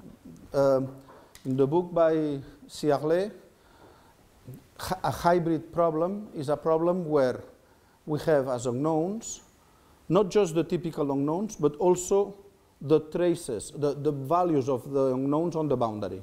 If the values of the unknowns on the boundary are unknowns, this is a hybrid problem. That's the definition of hybrid problem, okay? So what I'm going to do is, in each element, I'm taking the equations of the Stokes in each element. So I'm now just in element E. I don't know the boundary conditions. I'm going to invent them. I'm saying, imagine that I know the velocity on the boundary of each element. If I know the velocity on the boundary of each element, I can solve the Stokes problem like this. So for now, you had the hybrid unknown, you have this not known, but I suppose that I know it. If I have the right one, I'm able to solve this. Okay? Uh, are you sure? Is this, imagine that I give you this problem, okay? Forget that it's on one element, in one domain. And uh, I'm solving the Stokes problem with Dirichlet boundary conditions on all the boundary. Does this problem has a unique solution? Can, I mean, am, am I able to solve it? I'm only prescribing velocity on the boundaries. I'm not prescribing any Neumann condition. Uh, the pressure is not determined. Yeah. Very good. That's the answer. Okay, I know the, the solution is known up to a constant on the pressure. So in fact, if you just discretize this and I mean, that's the problem with Mat, MATLAB. If you use the backslash of, Mat, of MATLAB, it, it will give you an answer. But if you call a routine that somebody else has made, it will tell you, you your matrix is singular. And it's true, the matrix is singular because you can add any value to the pressure and you, it verifies the solution. You can see it here, the pressure always appears as a derivative, so P plus anything will also verify the equation. Okay, so the solution is not unique. Because if you have an incompressible problem with only Dirichlet boundary conditions, you know the solution up to a constant. Good.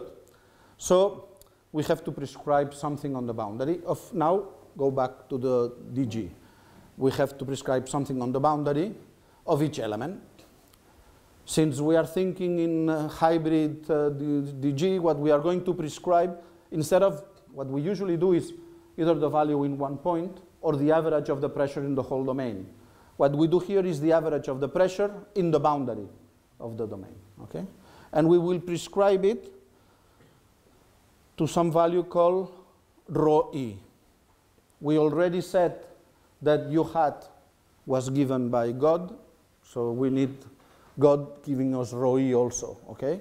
But if they give us rho e, we are able to solve, we are, able to solve the problem. So it's in fact unknown as u hat was, but, uh, but if once we have it, uh, everything is okay. Another question. Is, is this true? Can, can I take any arbitrary value of rho e and an arbitrary value of u hat, and then you can solve this problem?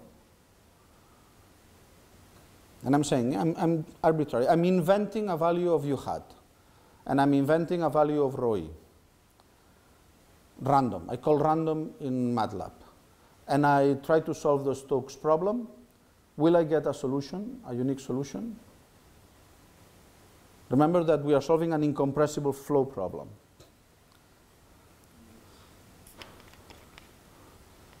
Yes, are you sure? It's incompressible. So, given the boundary, all the water that comes in should go out. So, U hat cannot be arbitrary, arbitrary. It must verify that the integral of the U hat forget the, the Dirichlet boundary. Yeah? In, in any interior element, the integral of the U hat should be equal to zero. The flux of water should be equal to zero. The same amount of water that comes through the boundary should go out on some part of the boundary. Okay? So, something that looked very simple, it's getting a little bit more complicated, but still under control. We have solved the problem element by element. Somebody gives us a u hat. We should make sure that the u hat is, uh, is compatible. And we also need the value of rho e. But if we have those two things, we are able to solve this problem. And that's going to be very important because if we are able to solve this problem, that means that we are able to obtain a solution for velocity, for the gradient of the velocity and for the pressure as a function of u hat and rho e. And that's our objective. Let's try to find the solutions as a function of u hat and rho e, and then go back to the transmission conditions, to the continuity between elements, to determine u hat and rho e. And that's what we are going to do. Okay, so this local problem is solved element by element. That's going to be cheap. I'm going to show you the equations in a second. This is fast. It's in fact a static condensation. Uh, in, in solid mechanics, there was a tradition to do static condensation. So when you have high order element, all the interior nodes have shape functions that go to zero on the boundary. So you can write them as a function of the boundary and only have boundary nodes. Okay, so this is what exactly what we are doing. We are taking out all the element nodes. And all our unknowns at the end are going to be u hat and rho e. Okay? So, well, I'm going to use the standard eh, parentheses for the integrals in the domain, these, these, brackets for the, for the integrals on the surface, and my approximation functions will be spaces in L2, they can be discontinuous element to element, okay, in L2, but in each element they are going to be polynomials of degree k. Okay? This is for the elements. This is for the skeleton of the mesh. Edges in 2D, faces in 3D. Okay? But same polynomials, degree k in both places. And this, let, me show you how we obtain the detailed weak equations, okay? So we have the one that defines the mixed variable, the momentum equation, and the mass conservation. So I take this first equation here, and I, this is a tensor. So I have the test function is going to be a tensor. So I multiply by a tensor g, and I have the GL, that's okay. I'm doing the first equation. Eh? I'm multiplying by g, I have the GL, good. And I multiply this by g and integrate by parts. So g times gradient of that integrated by parts is going to be the divergence of g times u. And I will have the fluxes on the boundary. And the fluxes on the boundary are going to be the u hats because that's the value of u on the boundary. Okay. I'm already putting the u hats on the right hand side. Why? Because my objective is to obtain L and U as a function of u hat. Okay? Second equation, the momentum equation, this is a vector equation, so I multiply by a vector, W, and I integrate by parts. So I will obtain the gradient of W here. This is the L that comes here. This is the P that was there. Since the gradient is now, we have the divergence of W, I have the, pressure on its own. And of course, I have the stresses on the boundary. The stresses on the boundary, I put them here. I put a hat on top of them to make sure that I remember that these are on the boundaries and I will do a stabilization there. Okay? I will have to define this. The use, I don't need them because the use on the boundary, I know they must be equal to u hat. So I can replace it, but, but not for the stresses. I don't have any condition for the stresses yet. And for the conservation of mass, I do the same thing. This is a scalar equation, so I multiply by q, integrate by parts, obtain the gradient here. I will obtain the velocities on the boundary. I know they are u hats, and that's it. And to solve this element by element problem, I need to add my condition for the pressure. Good. So I have this. Uh, look that I've put here. I've put here the square root of nu and the square root of nu. This is only to maintain the symmetry of the discrete operator. The original Stokes problem was symmetric. There was no convection yet. It's not Navier-Stokes, it's Stokes. And in order to have the mix problem also symmetric, I have to put this viscosity one in one side, one in the other. I'll show you the symmetry in a second. I first have to define the stresses hat, the stresses on the boundary. And how do I define them?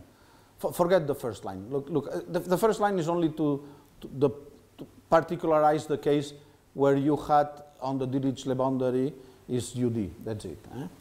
So what I do is the stresses on the boundary are the stresses in the interior of the element plus a stabilization parameter tau u minus u hat. This is not the tau typical of SUPG or uh, stabilization techniques. This is the tau coming.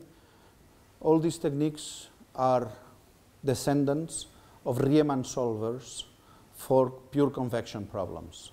So this is the tau that you will find in a Roe solver, in a Lax-Friedrichs type of solver. Okay? They, they follow the same idea to, to, to set up this tau.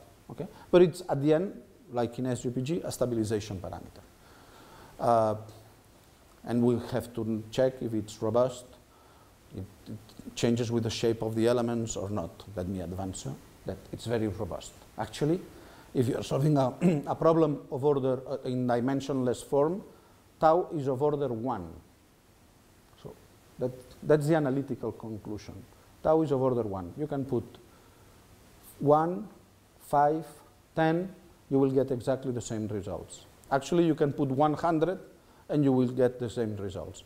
The only thing that may change if you put 1,000 or 10,000 is that the condition of your matrix will suffer. But if you put order 1, that's, that's fine. That, and that's a big advantage.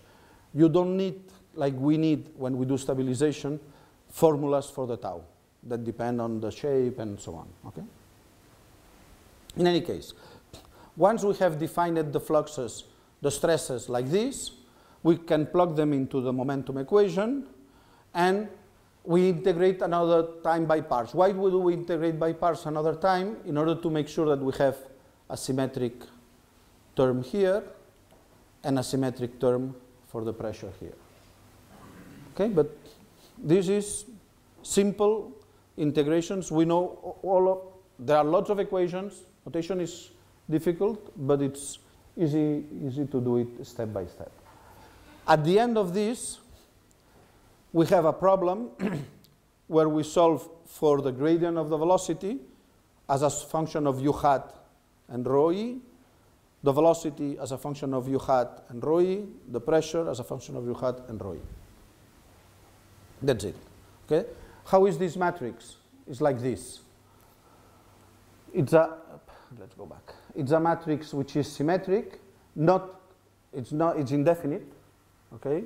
Because it has the incompressibility thing inside, eh? the typical matrix which has eigenvalues positive and negative because of this zero. And this last equation that you have here is the condition that I have on the pressure on the boundary. Okay, is the condition that relates everything to rho e. So look, this is rho e equal to the average of the pressures. This is the fourth uh, column, is the one that multiplies the pressure. This is the, the equation that imposes the condition on the pressure, of course with its own Lagrange multiplier, to have the same number of equations than unknowns.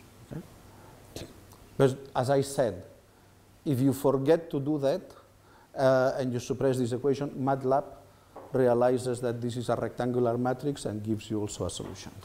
Anyway. Well, so now we know how to solve the local problem. So now we know how to solve u, l, and p as functions of u hats and rho. What do we need to do? We need to add the fact that all these elements are, have to be glued together. The first equation is not needed. Why is not needed? Because every time we had a u on the boundary, we change it by u hat. And u hat is the same one for the left element that for the right element. So u is already continuous. Okay, weakly, but already continuous. Okay? So the only thing we have to impose is this equation here, the jumps. And the jumps are if once we replace the values on the boundaries by the definition that we used before, is simply the sum for each element of these values. And if, since we go to each element, In one element, we use the normal of the element. In the neighbor element, the normal of the neighbor element is a minus. We will be computing the jumps every time. So the only thing we need to do is a loop on the elements and replace the value of this by the value on the boundary with all these expressions. At the end, we get something, and of course with the corresponding test function. Something where we have the L's, the P, the U, and the U hat coming from there.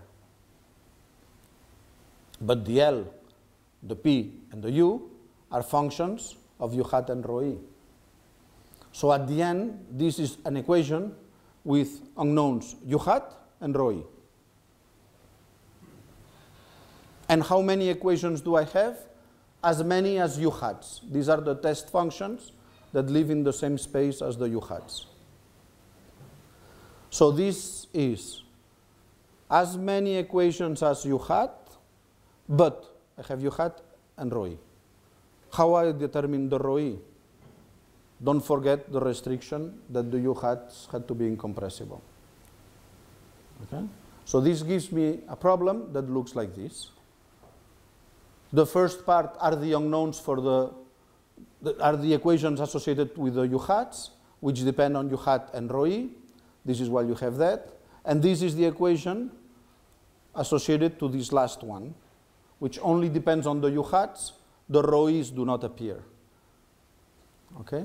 And this should ring you a bell. This has the same structure as the classical Stokes equation. So again, an indefinite matrix. Okay? And therefore, we all should be afraid because LBB, LBB, LBB may, the, the, the ghost of LBB may be appearing anytime here, no? Well, the beauty about HDG is that equal interpolation passes LBB. So no need to do any stabilization for the incompressibility. That's not bad. That's a beauty. Okay? So the unknowns, that is the first one. Second one. Unknowns are U hat and rho. We don't need to worry about LBB. Second thing, this is the typical mesh. The black dots is the interior part, is the interior elements. This is where we compute the L, the U, and the P. These are the black dots, where we compute L, U, and P as a function of U hat, the red line, the red dots. Okay? We can change the polynomial here to the degree that we want. For instance, 10. And the polynomial along the red line will be of order 10. The polynomial for the pressure in the element will be of order 10. And the rho e. The rho e is a scalar, is the average of the pressure on the boundary. so, in this global problem, as we increase the order of the polynomials, the u hat is going to increase, but the rho no. The rho is only one unknown per element. So we get the precision of order 10 for the pressure, and our problem here still have only as unknowns the number of elements of the, of the mesh. Okay? So that's another big advantage of this approach. Okay? Good. So we are able, well, we were initially mad because we were increasing a lot the number of unknowns, the interior, the hybrid, but at the end of the day, the, the costly problem is done only on the skeleton and for less degrees of freedom of pressure than we thought originally that we needed. But on top of it, we have the superconvergence property. Uh, let me go back to this equation. This equation is a kinematic equation which relates the gradients of u to L. Okay? So I'm, what I could do is I could uh, take the divergence of this equation. What, why do I want to do that? Maybe I should have said, because this should have said that a little bit earlier. When I solve this problem, when I solve this problem, and I compute the errors, the analytical errors, the exact error bounds, how, what is the rate of convergence of U, of P, and of L, which are my unknowns, and of U hat? The answer is always the P plus 1, K plus 1, the order of the approximation plus 1. For the velocity is reasonable. For the pressure, it's reasonable because we are using the same approximation that for the U. This is what we would expect in classical finite elements. But for L, L is related to the stresses. That's not standard. And the reason is that we have used this hybrid variable and that the L, we solve it in the local problem as we solve for the U's and the P's. And we use polynomials of degree k for the L too. So the local problem that we are solving in here treats the L exactly the same as the U, exactly the same as the P, all equally interpolated. When I was writing, no, the other way around. When I was writing the spaces here, I said I only work with spaces in the elements, all of polynomials of degree k. You have the k here. When I write the weak form here, when I write the weak form here, I say I want to look for L, U, and P, and L is matrices of these spaces, U are vectors of these spaces, and P is a scalar of these spaces. So all of them are polynomials of degree k. All of them have the right boundary conditions. How they should converge as k plus 1. So this method just straight away gives me a matrix which has the same structure as Stokes, allows me to have less degrees of freedom for the pressure, and I get a higher approximation of the stresses than what I would get on a standard finite element. Okay? No, yes, and I'm going on the right direction, yes. And on top of it, since I have now stresses that I know and they converge as k plus 1, this is the divergence of the equation L equals to minus grad of u. So what I can do is I can take the divergence of that equation like this, put the natural boundary conditions like this, and I know that L converges like k plus 1. So what I'm going to do is to solve this equation not for use with k plus 1 in a polynomial of degree k, because that's, I already did it, but I'm going to solve for u in a larger space, in a space of polynomials of k plus 1 at least. k plus 1 is enough. This converges with k plus 1. This, I use polynomials of k plus 1. I solve this problem element by element, and I obtain a solution U superconvergent, which converges as k plus 2. So with a loop on elements, where I have to solve a simple diffusion equation, no, not, no, not pressure here, no, this is a simple diffusion operator, okay? I can get an approximation of the velocity, which is one order higher than the one expected. Okay, so I get u L and P as k plus 1, and U, if I want, I can get it as k, as k plus 2. And this is what I'm going to use for my error estimator. Because now I have in each element an approximation of U, which I know converges, let me call it UH, in each element, minus the u exact. This I know converges as order k plus 1. I have a u superconvergent that is converges as the order of h k plus 2. So u minus uh minus u superconvergent, this norm is a good approximation of this error. And that I can do it element by element. Okay? And this approximation of the error, if I use Richardson extrapolation, tells me Richardson extrapolation, in order to know which is the error that you desire, it tells me which is the p that I have to put to do the adaptivity. Okay? So I have a formulation which is first order because I'm exploiting the mixed variable, local element by element formulation as in classical DG, equal order interpolation for all the variables. My global solve is in a domain of dimension, number of spatial dimension minus one. I have high accuracy because I get k plus one on all the variables and I have a local process that gives me k plus two. And look at the stencils that I have. This is CG.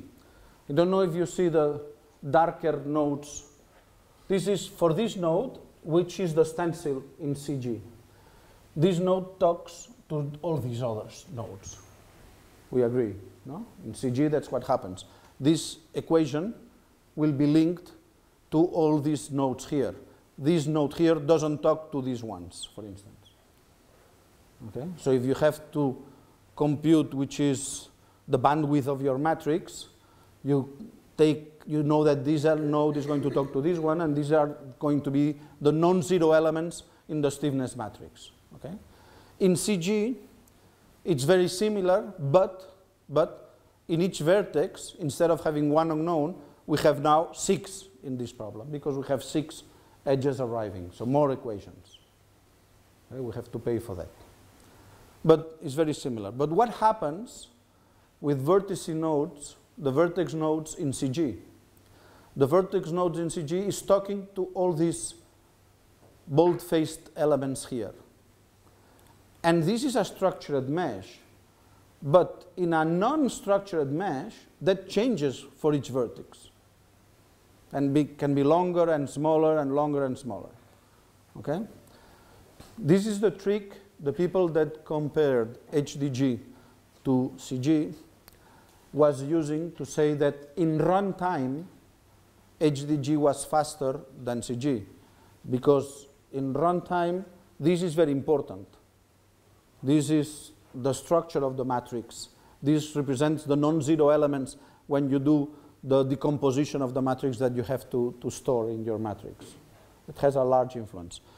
Note that in HDG, we have more degrees of freedom, but the stencil hasn't changed for a vertex node. Okay? And this is just to give you a comparison. This is the, mat this is the size of the standard DG matrix that will give you. This is the standard DG matrix with all the interior nodes.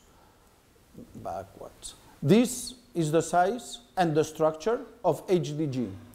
The blue line and the red line is vertex node in red, uh, edge node in, uh, in blue. And this is the equivalent of CG. It's smaller. We have, this is the case in 2D. Eh? We have six less vertex nodes. Eh? As you increase P, this difference is getting smaller and smaller. But look at the difference between the structure of the matrix, edge node, vertex node. Mm. And that, for the solvability of the problem, makes a, makes a big difference. And this is why people uses HDG. And I could go home and, I, and that's it. I mean, and you would know exactly what uh, people were using HDG up to very recent. There is a little problem, and those of you who have followed my book will understand very quickly. Um, well, mathematicians have this tendency to work with this equation instead of the real one. In the real one, we have the divergence of the stresses, and the stresses include the symmetric part, uh, the symmetrized part of the gradient, the deformations. Okay? And you can say, yes, Antonio, but I mean, they are equivalent because we know that if we take the divergence of this, uh, which is what we are doing when we replace sigma in this equation, we will have something that has the divergence of u. The divergence of u is equally to zero, so the, they are equivalent. And the answer is yes. They are point-wise equivalent. In the weak forms, that's not true anymore. But uh, let, I, I buy it. They are equivalent okay? But you will agree with me that what is clearly not equivalent is the stresses. What we call the external forces here, they, these are not the same ones that we have there. Okay, we are missing the symmetrized part in this equation. And the whole HDG is based on these transmission conditions, which ask for the symmetry between the stress tensor. Okay? So this is not true anymore unless we add this term which is missing on uh, the velocity pressure classical uh, formulation. Okay? And this, this, this has been a problem in the in these last uh, five, six years for people in, in our field because, because uh, you could say, well, look, I mean, in most of the codes, in fact, we don't write this. What we write is this. Every time we need to put the gradient of u, we put next to it the, the transpose, and that's it. And we compute with this, and, uh, and um, with this, we can have the local problem as before, and the global problem, and that's it, and we are finished. And uh, in fact, we are verifying the conservation of mass. We are doing it element-wise, and, uh, and thanks to this compatibility condition element by element, so we are doing it point-wise and element by element. We are also conserving the linear momentum, both again because we use these equations and we use the continuity between the elements. We are also conserving the angular momentum, the symmetry of the, of the Cauchy stress tensor, because point, point-wise we are adding this. But if you use this formulation, that's not something that I'm saying myself. Bernardo Cockburn and the others already published that in 2010. Uh, you lose optimal convergence in the stresses. Oops. As soon as you want to use this formulation in real engineering problems, the stresses are not k plus 1 anymore. If you use the other, I, I was not lying when I was saying that if you use the VP formulation, things converge, and L was converging as k plus 1. Okay? That's true. But if you add the L transpose, then you don't converge as, with k plus 1 anymore. For k1 and k2. For k3, magically things become better, and k4 and k5, and everything converges perfectly, but not for, but not for k1. And this is due to the fact that we are using a mixed formulation. Are you familiar with mixed formulations in finite elements? a little bit. Mixed formulations is what I just did, which is uh, to use as, a, as an unknown the derivative of the primal unknown. So that, that's typical, for instance, Hu-Washizu formulations for soil mechanicians. Hellinger, Reissner, no, okay. If you do what I just did, which is use as unknowns the velocity and the derivative of the velocity, this is a mixed formulation. If you decide in, in solid mechanics to use as unknowns displacements and deformations, this is a mixed formulation. Okay? And mixed formulations have been um, lovers for mathematicians. Eh? I mean, uh, they, plenty of people working on, on, on mixed formulations in mathematics. Uh, they, had the, uh, they have the advantage that uh, apart, I mean, you, you, have the velocity and the, or, or the displacement and the fluxes or the stresses, because you have added, and, um, and you approximate directly the stresses or the, or the fluxes, as we did. And therefore, to evaluate quantities of interest is much better because you already have the derivatives of the velocity as an unknown and you approximate it better. So in that sense, it's much better. They have the difficulty that you have to be LBB stable, UX. Or if you don't understand, don't worry, but I will just give you the concept. Or that you have to be HDiv. If sigma is an unknown, you have to make sure that sigma lives in a special space. Okay? Let's call it that way. And you also have to make sure if sigma is an unknown, that sigma is equal to is symmetric, The sigma is transpose. Okay? I'm doing it with sigma because that's probably what you think, but I could do exactly the same thing with the deformation. The deformation should live in a space which mathematicians we like to call them HDiv, and uh, the deformations is a tensor which we know is symmetric. So we have to impose. So if we decide that deformation is an unknown, we have to make sure that it's a symmetric tensor. Okay? And there are three alternatives to solve this problem. The alternative number one, which was originally developed a few kilometers from here in Liège by uh, Professor Fries de and Zienkiewicz. Zienkiewicz you probably have heard of, Fries probably not.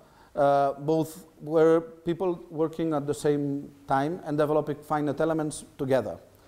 Fries the unknowns were uh, uh, the stresses, because he was using a mixed formulation. Zienkiewicz, the unknowns were the displacements. Okay? Simpler Zienkiewicz, more difficult Veubeke. And Veubeke died very young, so that didn't help either, that approach to, to be very successful. But that's, it has been used, and it's used recently, and you can see mostly mathematicians doing it. In this case, we decide to verify this space strongly, but the symmetry, we don't do it uh, as strongly. There is a, an option too, um, just to remember names, Leszek Demkowicz and Jay Gopalakrishnan are here. DPG is here. Okay, that's the DPG approach. Okay, HDG, what I'm going to present you, is also living in here. The symmetry is imposed strongly, and the divergence is element by element, but not on the boundaries. Okay, we cannot impose this edge HDiv thing on the boundary. But there is a better approach, which is Arnold and Winther elements. Uh, these are the Arnold and Winther elements. Just for you to remember. The lowest order element has 24 degrees of freedom for the stresses and 6 degrees of into D eh, for the displacements. And no high order elements have been developed. E a little bit too difficult for me. Uh, there are other alternatives. As soon as the people in HDG, up, up from that paper in 2010, realized that something was wrong with the formulation for stresses and low order elements, there were different alternatives. The M decomposition, that's the work of Bernardo. Some others use an alternative HDG formulations. Alexandre Ern and uh, Di Pietro were advocating for the high order I have a problem with all of this. I'm limited. My, my, my, my, programming skills are very limited. So as soon as I have very sophisticated elements, I have issues, okay? And everything becomes a mess. So I, I love things which are extremely simple. Uh, and therefore my question is, can we devise a mixed formulation with strong energy of the stress tensor and at the same time to have the superconvergence of HDG for equal order approximation, and at the same time, it, to rely only on nodal unknowns without the enrichment and without doing anything strange. The Arnold Winther element, the unknowns are vectors on the boundary, like the Crouzeix-Raviart elements. That's too difficult. My skills of programming are very limited. And the answer is yes, but for that you have to go to another guy who always was choosing the simplest solution, which is Ted Belytschko. Uh, people that have been working on solid mechanics knows that when you code a code in solid mechanics, you use something that is called Voigt notation. Okay, Voigt was a German professor called Valdemar, like Voldemort? But uh. And he used uh, and he used this notation. Uh, which is a notation which imposes the symmetry, okay? In, in fact, we say that the stress is written in 2D. Let's see it only in 2D. We have only three components of the stresses and three components of the strains. And we code everything like this. and he- they use this notation to simplify the, the, the, the finite element codes. Okay, this is in their book, uh, a first course in finite element. That's that's where you can find it. For instance, this is the, trans, the, the, the strain rate transfer in our case because you are velocities, but you have here in terms of the three of the three things. Now, since I want to work with a vector, I need a matrix here, which is this one, which is able to transform the two component vector into a three component vector, which is this one, it's transpose, okay? And um, for the constitutive equation, here I had the identity. Well, now the identity is, is a vector like this one, because it has to transform a scalar into a vector. And the viscosity, which was a number that multiplied, well, now it's a matrix, but it's again, it's a diagonal matrix, very simple, okay? So I have to rewrite all those things, but by simply studying a little bit of notation, I can rewrite my real problem with the symmetries gradient into something which has exactly the same structure, but instead of having the S above, it's below. Let's put it this way, okay? Uh, so it's matrix and so on, but I, I, I can use it and use this, this, this Voigt notation. I have obviously to, to rewrite the, the Gauss theorem and the Stokes theorem, okay? But these are things that we know. The divergence of a function should be well, integration by parts, that's the Gauss theorem. This is the, the, the, the Stokes theorem, the rotational of a vector is all the tangent multiplied by the, multiplied by the vector on the boundary, so all of this, all of this is well known, and, and they reproduce in this notation, and therefore I can use these expressions to rewrite my HDG code, that's easy. To obtain the weak forms, I need this and I use it, no problem. And then I can go back to my superconvergence.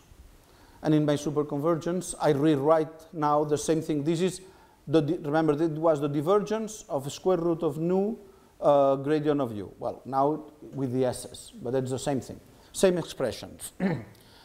and since I only have Neumann boundary conditions as before, I need to do as before this standard number of spatial dimension conditions. But in my now they are not enough. Why? Because I only controlling here the symmetric part of the tensor, not the whole tensor. Before it was L, the whole tensor. now I'm controlling only the symmetric part. That was the problem that they found in that paper in 2010. But if I use the Stokes theorem to impose that the rotational of the u is equal to the circulation of u hat, I obtain a new condition, just the conditions that I need to solve this problem. And using Voigt notation plus this, I can reproduce again all the advantages that we had before. Equal order approximation on all the variables. We can have k plus 1 for all the values of k, larger of, of, of 0, etc., etc., etc. Okay? Let me show you some examples. Uh, this is Stokes. This is this paper that uh, just came out, eh, just directly from that paper. So you have hexes, tets, prisms. As soon as you want to do an unstructured mesh, you, you, you may need to use these elements for the boundary layers, and pyramids. Pyramids is a square and a node on top of it, okay? If you, want, if you need to do real measures for real problems, sometimes you have to do things like that. And here you have, for quads, uh, for quadrilaterals and triangles, so 2D and 3D, hexes and tets, prisms and pyramids. And you have, for instance, P and L, P and L, P and L. And you obtain for P and L the optimal rates of convergence. So if, if it's K1, then you have to, must have K plus 1, so you get 1.9.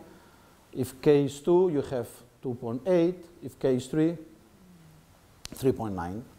So you obtain for K and for P the optimal rate of convergence. for all the elements. And if you now look at the velocities, u and u star, u star is the superconvergent one. For k equals 1, you get the k plus 1, the 2. And for u, the u star, you get the 3, which is parallel to the next continuous one. Okay? So you always get k plus 1 for the interior velocity and k plus 2 for the uh, superconvergent one in all the cases. So now I have a method that works that gives me some information on the error and I can do the adaptivity that I just show you of the adaptive Navier-Stokes problem uh, element by element in which I'm guessing the p from order k equals to 1 to as high as I want. Okay? This is a problem where we know the analytical solution and this is why you can see that we can very quickly obtain the analytical solution and uh, again the higher the number, the higher the k, the, the faster we get there. All of these that I've just explained is also true for elasticity. Remember the 24 uh, sigma degrees of freedom of sigmas and the 6 for this? This is the equivalent in HDG. Nothing than 24 degrees of uh, unknown degrees of freedom unknowns of the Arnold Winther element, and some of them are fluxes normal to the edge of the element. So all of this is extremely simple. E again, equal interpolation for everything. You see that K1, U and L converge with the slope that you want. Uh, K2 with the slope which is K plus 1. K3 with the slope that, that you wanted. And of course the superconvergence. So K plus 2, K plus 2, K plus 2. Okay? And you can say, well, but in, um, in elasticity, uh, things work nicely when things are compressible, but as soon as you end up working in incompressible problems, you may have things that they call locking and, uh, and, and strange behaviors like these ones, okay? Well, this is what happens when you increase the Poisson ratio and you make it close to 0.5 nothing changes. You still converge. So you end up having a formulation which is locking free in the solid mechanics environment. Okay? Why? Because we come from incompressible fluids. We know that we pass LBB. We have checked all of those things. Okay? And we know that all of this works. So it's locking free. Good. Uh, and we can also go to k equals 0. Okay, I was telling you at the beginning that industry has, has this love for finite volumes, okay? So let's go down to k equals 0 with HDG and see what happens. Um, all the commercial codes that you probably have heard, OpenFOAM, Fluent, are cell-centered. There are some which are vertex-centered. ANSYS code is, is cell-centered, uh, vertex-centered. All these codes are any of you has experience with uh, OpenFOAM? You. And the meshes that you used were always nice meshes or no, very strange meshes, okay? And um, I don't know if you ever tried to solve a problem with strange meshes and an, an analytical solution that you could look at the rate of convergence. You didn't do that. Well, if you, if you play with it, you will see that if the mesh is structured and good, you get the, you're using k equals 0. Okay, so you should expect order 1 in the approximations. Okay, and you get order 1. But as soon as you use the real meshes that, for instance, close to here, who uses uh, OpenFOAM on a daily basis? Volkswagen. Uh, the Volkswagen uh, research, which is the research not just for Volkswagen, but for all the group, for uh, Skoda, for uh, Audi, and so on. Uh, Volkswagen Research uses OpenFOAM on a daily basis. And their meshes, they have to refine them if they do CFD close to the, to the body of the car, if they do mechanical problems, they also have to refine things, but uh, they have to refine. And if they refine, they are not structured anymore, okay? And then the orders of convergence are not the same ones. Same thing with ANSYS. ANSYS does a very sophisticated reconstruction in order to, because what happens with the stresses in a finite element, in a finite volume code? Displacements convergence converge with k plus 1. That's nice, order 1. So you refine and the error decreases as h. But, and the stresses, the stresses as a standard in any finite element code or a DG code, they converge with k. That's k which is 0. So stresses do not converge if you refine, unless, and that's what finite volume people call reconstruction. Reconstruction is a very engineer word to say we interpolate. Okay? So the, if the mesh is nice, the interpolation is, is easy because you go one element after uh, and then you, re, uh, you reconstruct, you interpolate a polynomial of degree 1 for the stresses and you obtain order 1 for the stresses. Okay? The, this reconstruction in Fluent is, in ANSYS, sorry, is quite sophisticated. So if you think of what we just did, we were able to work with K1. Can we work with K0? The answer is yes.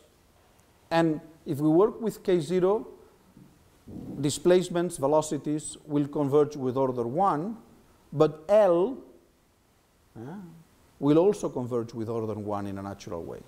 And I don't need the reconstruction. Okay?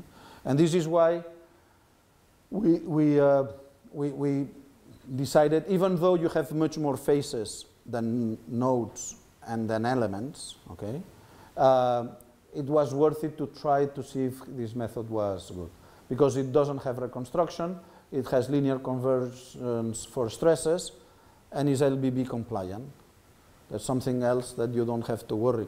In, in uh, OpenFOAM, the algorithm is the old algorithm that uh, Marek and I did use already in our thesis, which is the fractional step, call it that way, but it's the old algorithm in which you correct the pressure with a Poisson thing and so on.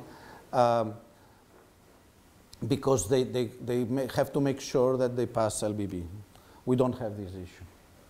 Uh, and this is the potential flow around a full aircraft. Uh, we are talking 5 million tets, 11 degrees of freedom. This is solved in one of these small laptops in nothing, in uh, six minutes. I mean, nothing. That, the accuracy is awful, okay? Don't try to do LES with this, okay? But it gives you something, okay? This is why industry loves finite volumes, okay? Uh, same things with the Stokes flow. You can also do with the K0 and get to the exact value. Of course, if I show you here the high order, the high order reaches convergence there, okay? But here, with 17 uh, million degrees of freedom, two and a half million tets, I can assemble in 10 minutes, uh, sorry, uh, construct the elemental matrices in 10 minutes, assemble in three minutes, and solve for five hours because the problem is very big. I'm using MATLAB to do that, and I get a solution. Okay? It's very difficult to do this with a code that doesn't, um, I mean, in real problems, uh, you, don't, you are not as robust. And you can also do it in solids. This is a funny example. I use this one because this is the prop, this, it's very old, eh? Nine, the solution is analytical solution by Timoshenko in the book 1959, okay? Uh, this is a shell clamped on both ends and you increase the pressure in the interior. Okay? And it has an analytical solution. This problem was shown in the first IGA paper because they said in order to solve this type of problems, IGA is very useful, and it's true because IGA for shell elements it's, is extremely useful. And we wanted to use this to test also constant element by element solutions. Okay? Uh, the whole trick in this problem is that you should be able to, to capture this sort of boundary layer since the cylinder is clamped and you increase the density, there is a sort of boundary layer in the shell that generates next to the, next to the clamping, okay, next to the boundary condition. And this is what we get. Of course, with a coarse mesh, which is the, the, the first one, the, the black one, you, get, you don't get the exact solution, but it's 80 elements in one direction, 10 in the other, and 2 in the thickness. But as you refine, you don't need to refine the thickness. You do not need to refine the thickness. You get, you converge to the exact solution. Okay? That was something that we wanted to, to, to check with um, all these uh, solid mechanics also, and it worked. And let me show you what really impresses the people using OpenFOAM and, and Fluent. Uh, now, I can perturb, this is taken, uh, we can do it in 3D also, right? but the, in 3D seeing this is a little bit of a nightmare. But in 2D you realize very well that we have put a random displacement around a regular mesh of size h and size h divided by 4. For triangles, the same thing. and um, as you can see, some of these shapes are quite uh, extreme, okay? And uh, some of the quadrilaterals look more like a, tri a triangle than a, than a quadrilateral. And in, any, in both cases, you don't lose the order of convergence. okay? That's something that people working on finite volumes appreciates, appreciates a lot. Of course, just to make it a little bit more difficult, we are also doing it in the incompressible case for solids. Uh, but in fluids, what are, we are interested is in the boundary layers. And the stretching is also, remember, we are approximating the functions as constants in every element, okay? so this stretching also is something that finite volumes don't like very much. And you can see here that we have gone up to stretching ratios of 1000 and the convergence rates are the, are the correct ones, okay? So for all the quads and so on. So it seems that these techniques are working properly in order to be able to, to solve this problem. And all of this, we are using it, and now I'm recapping some of the stuff that we have been seeing. Remember, our purpose was to do reduced order mo uh, modeling and PGD for solving this problem, and this is why I began explaining you all the PGD, okay? we want to solve flow problems, parametric flow problems, and to solve those parametric flow problems, I told you, we better not use a formulation which is too intrusive.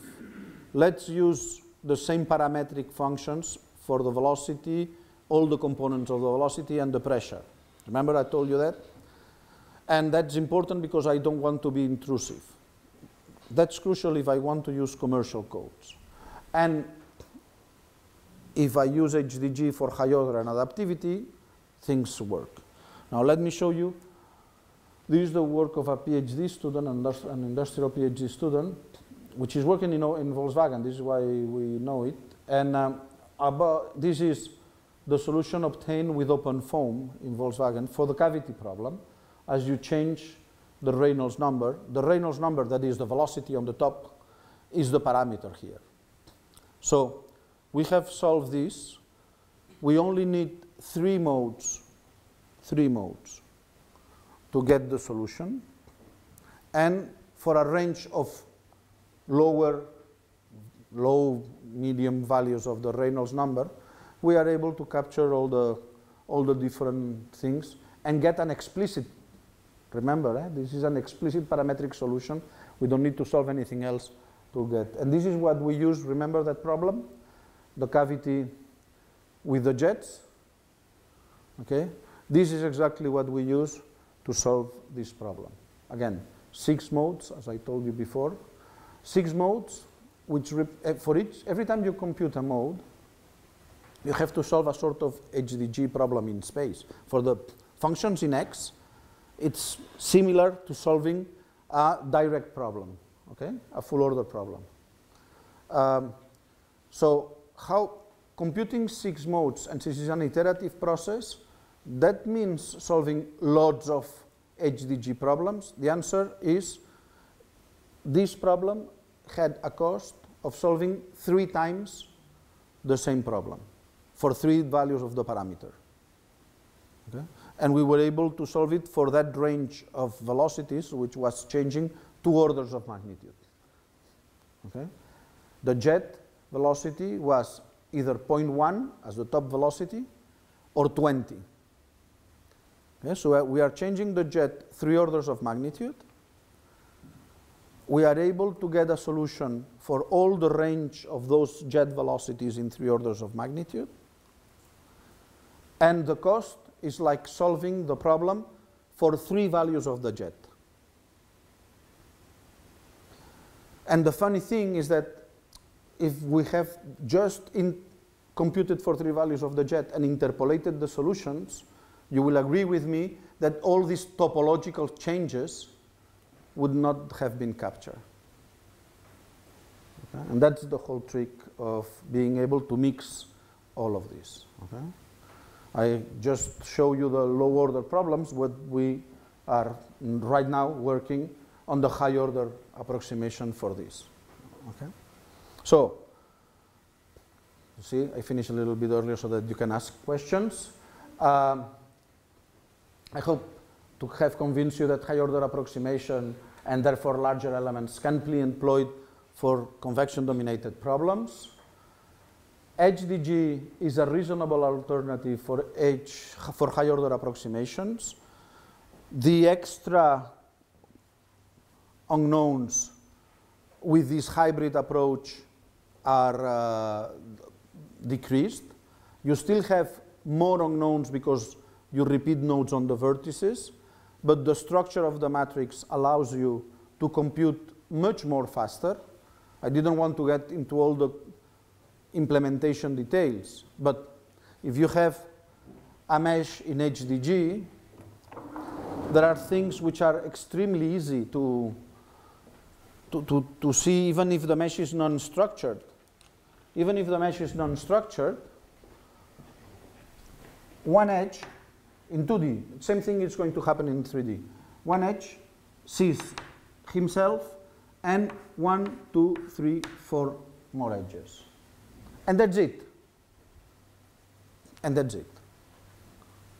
So you have full matrices, one per edge, but they are only five elements, five blocks which are non-zero.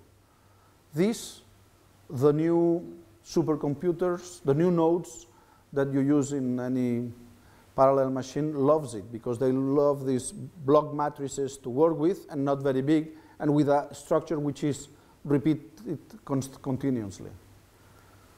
Okay. That's not the case of CG, where every vertex node you don't know until you have the mesh to how many nodes it is connected. Okay. So this is why I, we believe HDG is a reasonable alternative for high order approximations.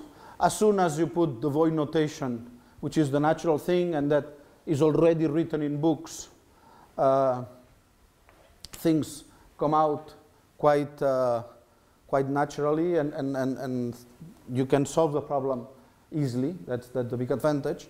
And you can run from K1 to K20 and therefore your adaptivity will work. Exact boundary representation, I spent some time telling you that exact boundary representation is important. And don't trust practitioners that tell you parabolas on the boundary are good enough for uh, real problems. That's not true. Uh, the parametrized solutions, and we use PGD, but reduced basis is an excellent alternative POD. There are plenty of alternatives which are very reasonable. In our case, we use PGD, and we can obtain it with high order approximation and exact boundary representation, which is important for us. Thanks to the way we do it, we have little advantages. When, when I talk with uh, Gianluigi Rozza, it, when he does uh, incompressible flows, he has to make sure that uh, in the online phase, where they compute the coefficients that multiply the bases, they have to make sure to pass LBB. And therefore, they, they, they need to do some mathematical tricks to do that.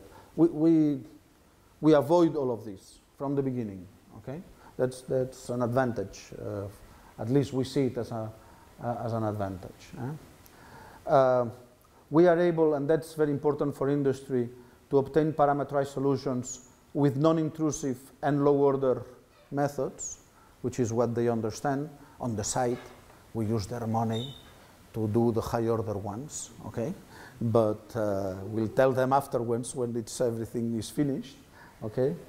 And, um, and we were able, um, de- developing all of this, to, to create a new finite volume method, which industry likes it very much because uh, it's orders of magnitude less sensitive to the, to the mesh, and it has built in the reconstruction and the LBB properties. So I hope this was interesting for you, and if you have any questions, I will be very happy to answer.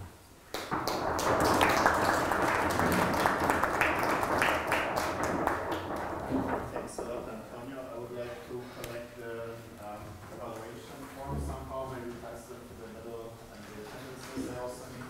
Um, so, uh, yeah, we have some time left for questions even before maybe you approach Antonio later, but now maybe just in front of everybody, if you're um, confident enough. Uh, Well, I got questions in the first part. They are probably a little bit tired by now, but, uh, but I'm here, okay? So if you need any, have any questions, I will be glad. Oh, Nicole.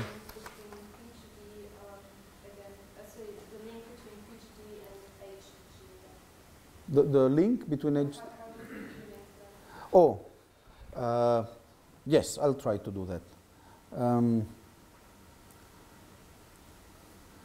every time, in, when I have to solve for a PGD problem, let me go back to the PGD part of the presentation.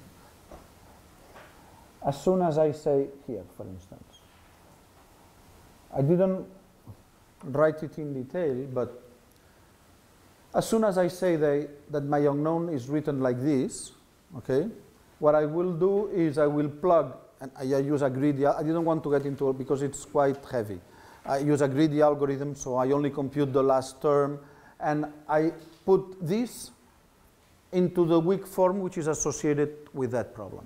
And I split my problem. I have um, one problem in X. This is why I need the affine decomposition of the, of the weak forms here. I have a problem in X and a problem in mu. The problem in X is a standard finite element problem, weighted. The, the viscosity is not the viscosity because it's influenced by some integrals of these functions, but from a resolution point of view, is similar to any standard finite element solved in space. And there you use your preferred technique. You want to use finite differences, you, finite volumes, we use HDG. So we use HDG to solve this problem. Here is where you have the convection diffusion. Here is where you have the pressure, uh, in, incompressibility, and, and the possible instabilities due to the incompressibility. This is a very simple problem. Actually, lots of people, this, for instance, the, the, the Parisian school, the, the people in Paris, they don't even write it in weak form, the problem for mu. I, I like it because this allows me to get some error bounds, and if I do some error estimation, I can do the error estimation and so on. But this, if you use collocation for this problem, you are actually solve it at each value of mu. The problem only for the for these for these functions. Okay. And of course, I, I do, but in mu, I have a very simple 1D because since I separated the mu's, it's a very simple finite element problem which doesn't have all the standard difficulties that we are confronted in uh, systems of equations, convection, diffusion, incompressibility, the nonlinearities, everything. All the bad things are in here. This is nice. This is good guy. Yeah, that, that answer your question?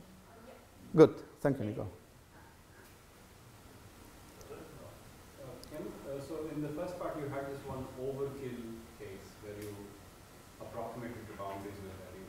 Oh, oh, yes, yes, yes, yes.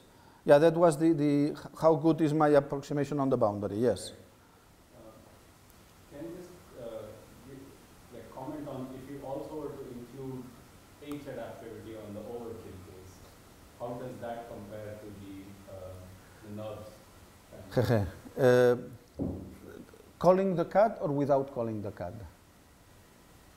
without calling the CAD. But, bad boy, bad, bad, bad, bad if you do H, but you stick with, uh, you, you are talking about this case here, okay?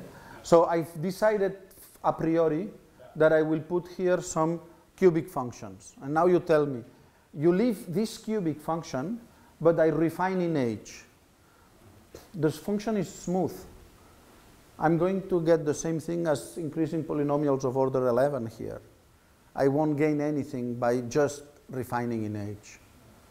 Because what I need to do, even if they look the, the exact boundary and the cubics, the piecewise cubics, seem very similar, what I need to do is to change the piecewise cubics. This stagnation is due to the geometry error. Well, not this one, actually, this one is due to the geometry error. And unless you call, if you call the CAD, that's a different story.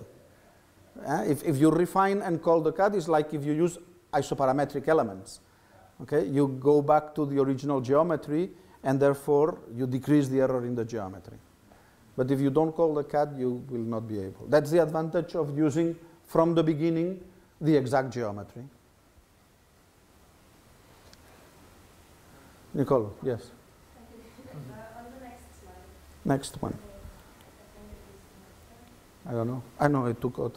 out this. Yeah, your, your error estimator is very close to your exact error. Yes. So that's very nice. Um, do you have a bound how much you would expect it to differ at the? No, and no, no, no. We don't have analytical bounds for that uh, because the analysis. I mean, I can do it a little bit more sophisticated than this, but at the end, this gives you very clearly, very intuitively what what's what we do. It's like. It's like if you solve. I, I remember a very important professor in Caltech telling me, all these issues about error estimation, uh, at the end you compute it with p, and then you compute it with p plus 1, you subtract, and you have an information of the error, okay? And I say, well, yes, but p plus 1 sometimes is very expensive, and we don't want to do that, and this is why we invent all the different error estimators.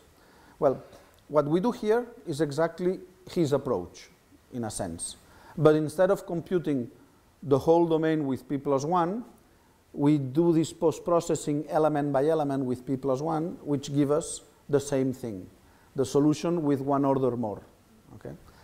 So you have the solution with one order more, you can do the difference, but that the bounding of this with respect to the exact error in the limit is reasonable, but not um, before that. Sure.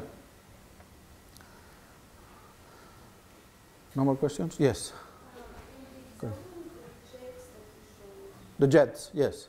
so, you computed much more solutions than just the three modes. Of course.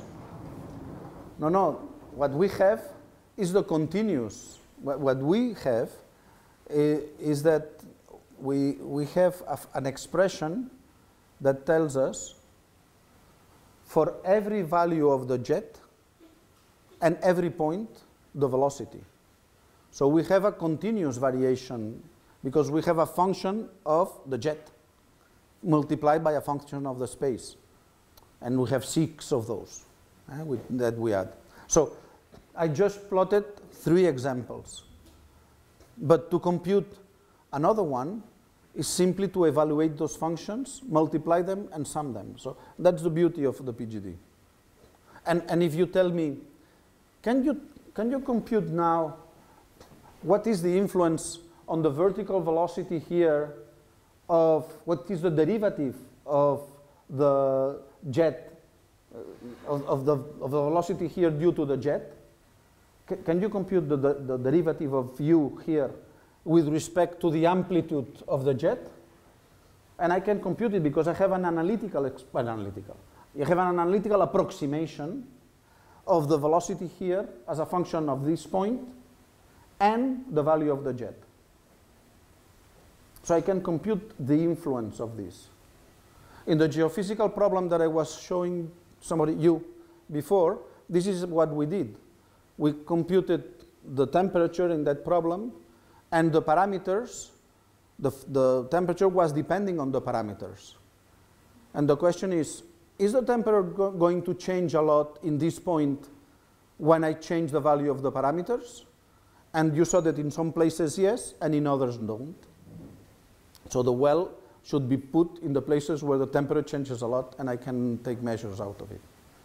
There were questions, Tim? The this is a follow-up, um, if you were to really do uh, uncertainty modification, and you wanted to go for higher order derivatives, have you got any idea how long these higher order derivatives, for, for which order they will be still be somewhat accurate when you use just your approximation? This goes back to the answer that I, this is why we, for the, for the uh, parametric functions, for the parametric modes, we also use weak forms to try to get as high order as we can. Uh, Let me say it in a different way. If you want to derivate the function with respect to the parameters, what you want to know is which is the order of the error of the derivatives. Okay? In this problem here. if I understood well your question, what you are telling me is I have the velocity at any point, for instance, 0, 0, and as a function of the jet. Okay? And uh, I just answer her that I can compute the derivative of u with respect to the jet at any point and for any jet. And now you tell me, how good is this approximation? Well, how good was this approximation? This approximation was of the order of h. h now discretization of in space and discretization in mu, k plus 1. What order will be this one? hk. And if k is large enough, I can take more derivatives, which was your question, wasn't it? Yeah, go ahead. So this uh, uh, superconvergence which you obtain, do you get the same for completely uh, like hyperbolic problems? Very good question. No, You got me. No, 1.5. no, no, no, no. You, you are killing me. No, uh, uh, HDG works for second order problems. We need the mixed. uh, The, the whole point of HDG. Yeah, yeah, very, very extremely good question. The, the whole the whole idea of HDG is the mixed, the famous mixed variable, where I where I began a little bit a little bit mathematician, and I talked about this Arnold Winther element and so on.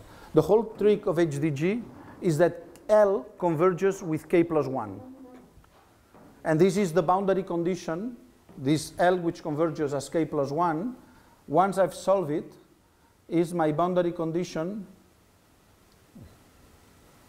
for the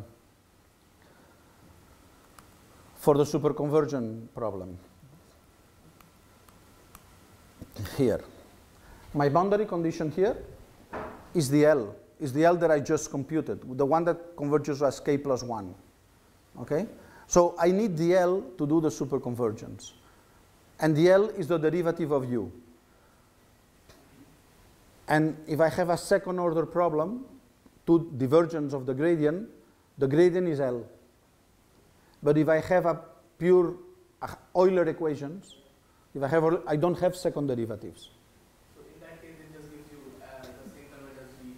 Yes, if, but, so I want to ask, like, if, like in VT, if you add a reaction term, let's say to a transport equation, then you can just get no, no. If you add artificial diffusion, yes. But if you add reaction, no.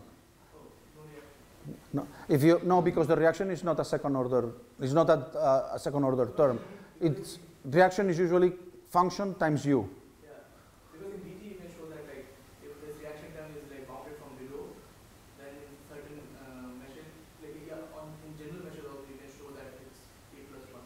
Can you do the same thing? in- Yes, all of this was look. I I talked Stokes and I talked. Uh, so I didn't talk about the convection. Okay, uh, th- but the answer is all the convection part works exactly the same as in any discontinuous Galerkin classical technique. So, in fact, when we solve with HDG n- uh, Navier-Stokes problem, the diffusion part is the Stokes part that I just explained, and the convection part, we do it with an approximate Riemann solver. So you put reaction, I will do it as as a hyperbolic problem. For Euler or compressible uh, Navier-Stokes, all the convection part is treated as Euler, as standard DG. The diffusion part is treated like this. But most of the time, the quantities of interest are, dra- are uh, drags and lifts and things like that, which is where the viscosity is important. And then the estimator is crucial.